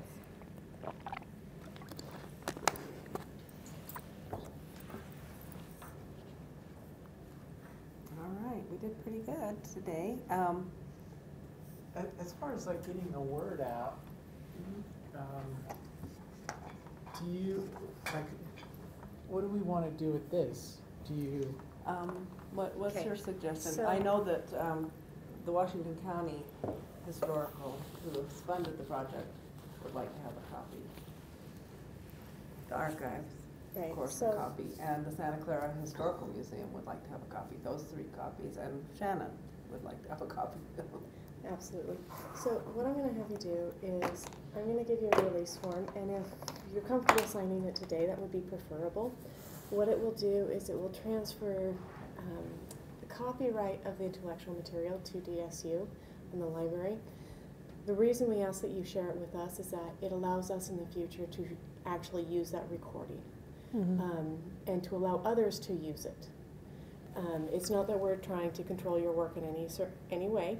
You will retain a um, basically a non-exclusive license for the rest of your life. You can use it however you want. It just means that in the future, they don't have to go to your sons and say, "Hey, I want to use the recording of your flute playing." So that's the only reason we have it. Is Mhm. that we then can give that permission. um, you'll have the option of restricting the oral history for a number of years. You can restrict whether or not you want it to go online, or if you want your name to be publicly known. But I'm going to say that one's going to be a little hard considering you're talking about your dad. um, and so it's just going to transfer that rights to us. Um, what we'll do is we'll take the recording, we'll transcribe it on the two different days, and then we will send it to both Susie and to yourself so that you can have the chance to review it. And if we totally butcher a name or spelling, you have the chance to correct it. Or if you're like, wait, I misremembered that during, you can correct it at that point. Um, and those corrections will, granted, only show on the transcript, Mhm. but 99% of people only look at the transcript. Mhm. Okay, so you do have that chance um, to review it as well before it goes public. Once it's done, we'll send a printed copy to both yourself, unless you prefer a digital. We can do both as well. Um, we'll send one to Santa Clara, and I don't know that the county particularly, the Historical Society particularly wants a physical copy of it. No, not a But- physical, but they would like a digital. Yeah. Um, so long as you give rights to put it online, I'm certain the County Historical Society will put it online on their website. Um, and that will be both, if you want to note a restriction on, like, you're okay with the transcript going up and not the video, kind of that's where you want to say whether or not it's allowed online, Mhm. okay? Like, what do you, as far as getting the word out about the Paiute uh, group and keeping your history alive and That pretty much has to be done on their side, the Paiute tribe's side. Because now, whenever I go anywhere, I have to say I'm speaking on behalf of myself. I have to always put a claim in there because now you, depending on who you got on council, they're going to say, "Well, are you talking on our behalf? Did we send you over there, or we didn't give you permission to speak about us?" And so it's so hard. So it pretty much has to be done with them. So I speak on behalf of myself. so do they do social media? We had when my sister and I were in there. She she's good at the website, so she had a website up talking about our band, Shivwits Band. So we had all the history, everything on there. But once she got off, they they closed that up. So right now it's the UtahPaiutes.org is the only one. How do you want to get the word out with what you're doing? I'm going to start internationally because uh, I have a lot of friends and professors in, in Italy and um, a lot of people in Australia. So if you start out and work your way in, I think that's might be the best way. So you don't have any desire to start an Instagram channel for Yeah, and I? I opened some up, but I haven't touched them yet. Like I, I have them under Shenandoah, but I just and I, I do have a website up on my dad lavanmartineau.com, but talking about all of his archives and all of his stuff. But I just kind of got so busy digitizing everything and typing up stuff because um, it was through like a job. Like I was paid, I had so many months to get it done till July, and so it was a job. And so I sat there and just typed and typed till my eyes hurt. And now that job's done, I'm, we're still doing it, but we're looking for other funding to continue it, or looking for interns that can help to type up stuff so we can get it out quicker. Because we want to publish a book, and I'm talking about Carol Patterson. She's the one helping me. She um, Who is she? she has done a lot of books. My dad knew her, helped her write a lot of books on petroglyph writing. Hmm. But she, I think she's a professor. I know she taught at a lot of the schools Where in she at? Colorado. She's out of Colorado. Hmm. I'm not sure if she's Colorado Springs. Is there a college over there? Yeah. I think that's where she was. She was out of. So her and I, she's the one that was funding me to get the book out. She said she didn't want anything in payment. She just wanted the book to be published because she said there's a lot of people like you that could learn Yeah. just every day going out and having a little dictionary saying, oh, well, I think I can read that. So it was pretty much she wants it out so because she said all that stuff my dad wrote is just going to waste. And her goal is just to get it published. and so she's the one that's pushing me to, to publish it. but I have all the say. And my sisters, I asked them permission too, but it's pretty much my say. So I'm gonna actually have both you and Susie um, sign this form. hmm Go ahead and read it. If you have any questions, please let me know. So I can't put any of this on the Washington County Historical social media or their YouTube channel or anything like that? Well, if she signs, if she signs that we can, then we can. That, that's, that's the distinction. And I'm not one to be filmed. Like I've been on uh, a lot of films, but I just don't. I don't like to see or hear myself. but you can't get around it. So. No, you can't get around it, and you've done an excellent job, I must say. It's been fascinating. All of us were just like here, with our mouth open. Like, Wow, we really learned some stuff today. So I don't like to be seen, but I, I, I do it for my kids, is what I say. This, uh, this, this uh, history of your dad, hmm where did you get that? Where did you get that? He wrote it. She Um, has one copy. he started This is a it copy from her back in yeah, back in the early So I read '90s. it before interviewing her. Yeah. He said, "I need to write this down because there's so many things in in in my life that happened that I'm going to forget if I don't write it down." So he wrote that pretty much his whole life, and then I completed it when he passed away. But um, it took a lot of years. But I have the only copy. Would you like to have this copy here in the archives city? Not right now because I'm not sure what we want to do with it yet. My sisters don't don't they don't really want it out there.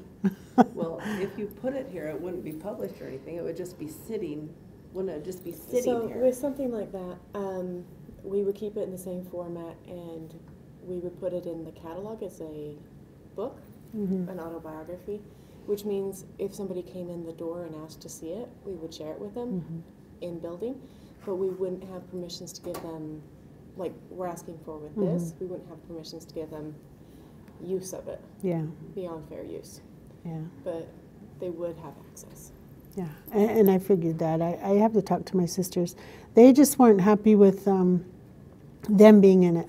Like, there's nothing to do with my dad's stuff. they didn't want to be in it. So I did go through it and I did take some stuff out that they, didn't like in the their- my dad's The- autobiography. living sisters, a lot of the history of them is in here of their lives.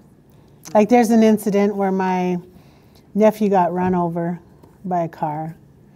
And she says, Well, I don't think he wants that in there, nobody to know that. So I went and took it out. So they're just little things like that. And because they weren't never married, but yet they had boyfriends, they says, Well, nobody needs to know that. Yeah, I do have a child from somebody, but that's nobody's business. So they don't like little things like that put in there because they weren't married and traveling around. I, I, I will say that a lot of people that come in, especially for the family histories, mm-hmm. they're actually looking for genealogy. So, long view, it's actually good, even if it's embarrassing now. Yeah. Oh, I know. Yeah. My, I had an aunt, a great, a great aunt. I wanted to interview her before she passed away. She did not want to be on camera, and I was like, "What the heck?" So now she's gone, and I don't have anything. I don't have her life story. Yep, I that I happens. just recorded her audio, but I was doing it for a kind of a little documentary I was doing on my grandpa. Mm. All three of my sisters says, nope, I don't want to be on camera. You do it. You're a better talker.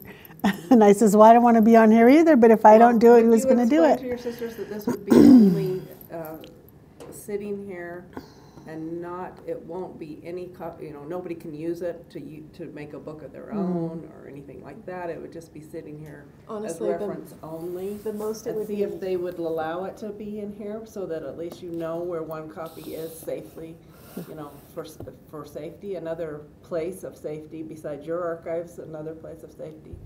And um, also ask about the two genealogy books that you brought, that you Mhm. said you might give permission for us to scan some of those pictures and things. I'm fine with that because that's the only copy we have.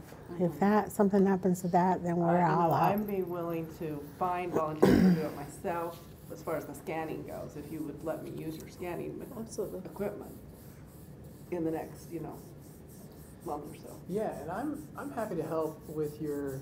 I mean, if you're trying to get kind of buzz out about a new book that you're Mhm. coming out with, um, I mean, I'm on petroglyph Facebook groups. Yeah, I'm on one of them And they're always like, you know, what does this mean or whatever. Mhm. It'd be so great to have a little video clip of you Mhm. with the petroglyph talking about it. I've been wanting to do that because I've seen a lot of things on YouTube lately because I'm learning sign language because it has to do with the writing. And so, what I wanted to do more The for original sign language. mhm, the Indian Sign Language, I wanted to do more for the, the Indians, but of course, the YouTube, anybody can access it. But I wanted to do a sign a day. Yeah, Yeah. something like that. That a sign a day, and then in the corner have a picture of petroglyph that may have the symbol. And so I want to So do that. That's like perfect. That's a great Instagram. idea, Mhm. great idea. So I'm trying to think of ways to generate money because I want to travel and I can't travel without funds. And I'm starting to get back into dancing, but dancing it takes me away from my family and my husband's not happy with it. he wants me home where I've been the past 8 years and I says you've you've tamed uh, my my friend calls me a, a fire horse. You've tamed a fire horse for eight years, but that corral's getting pretty small. Pretty small. Gotta get. So um, I told he. I mean, you could do just like a, a quick ebook of signs and symbols, Mhm. and and get and get that out 1st before the whole you know your whole dictionary is Yeah. done. Or, Well, what, I, what I'm going to do right now, because I do got my dad's website up, um, I want to sell a poster size picture of the petroglyph that is up at Vernal. And it's a famous petroglyph symbol of a whole bunch of men standing in a row. Three kings, I mm-hmm. think it's Oh, the yeah. three Yeah. kings. Yeah. And my dad interpreted the whole thing. He Oh, has wow. writing so small on every little symbol. So I want to do a poster size of the three kings. And because I don't have the access to go take the actual photo, I don't want to use somebody else's because they're going to say, well, you owe me for the poster. You. So I'm going to draw it. I'm going to draw a lifelike poster size and I'm going to have the symbol meanings below it to generate maybe $15 for the poster or something. So I want to do a little interpretation um, uh, whether it's just sending it to somebody of the symbol, a famous symbol that means something to just start generating a little bit of money and then maybe start the, the symbol a day thing. Just, just little things like that, just to, to get some funds and then um, small volumes of stuff.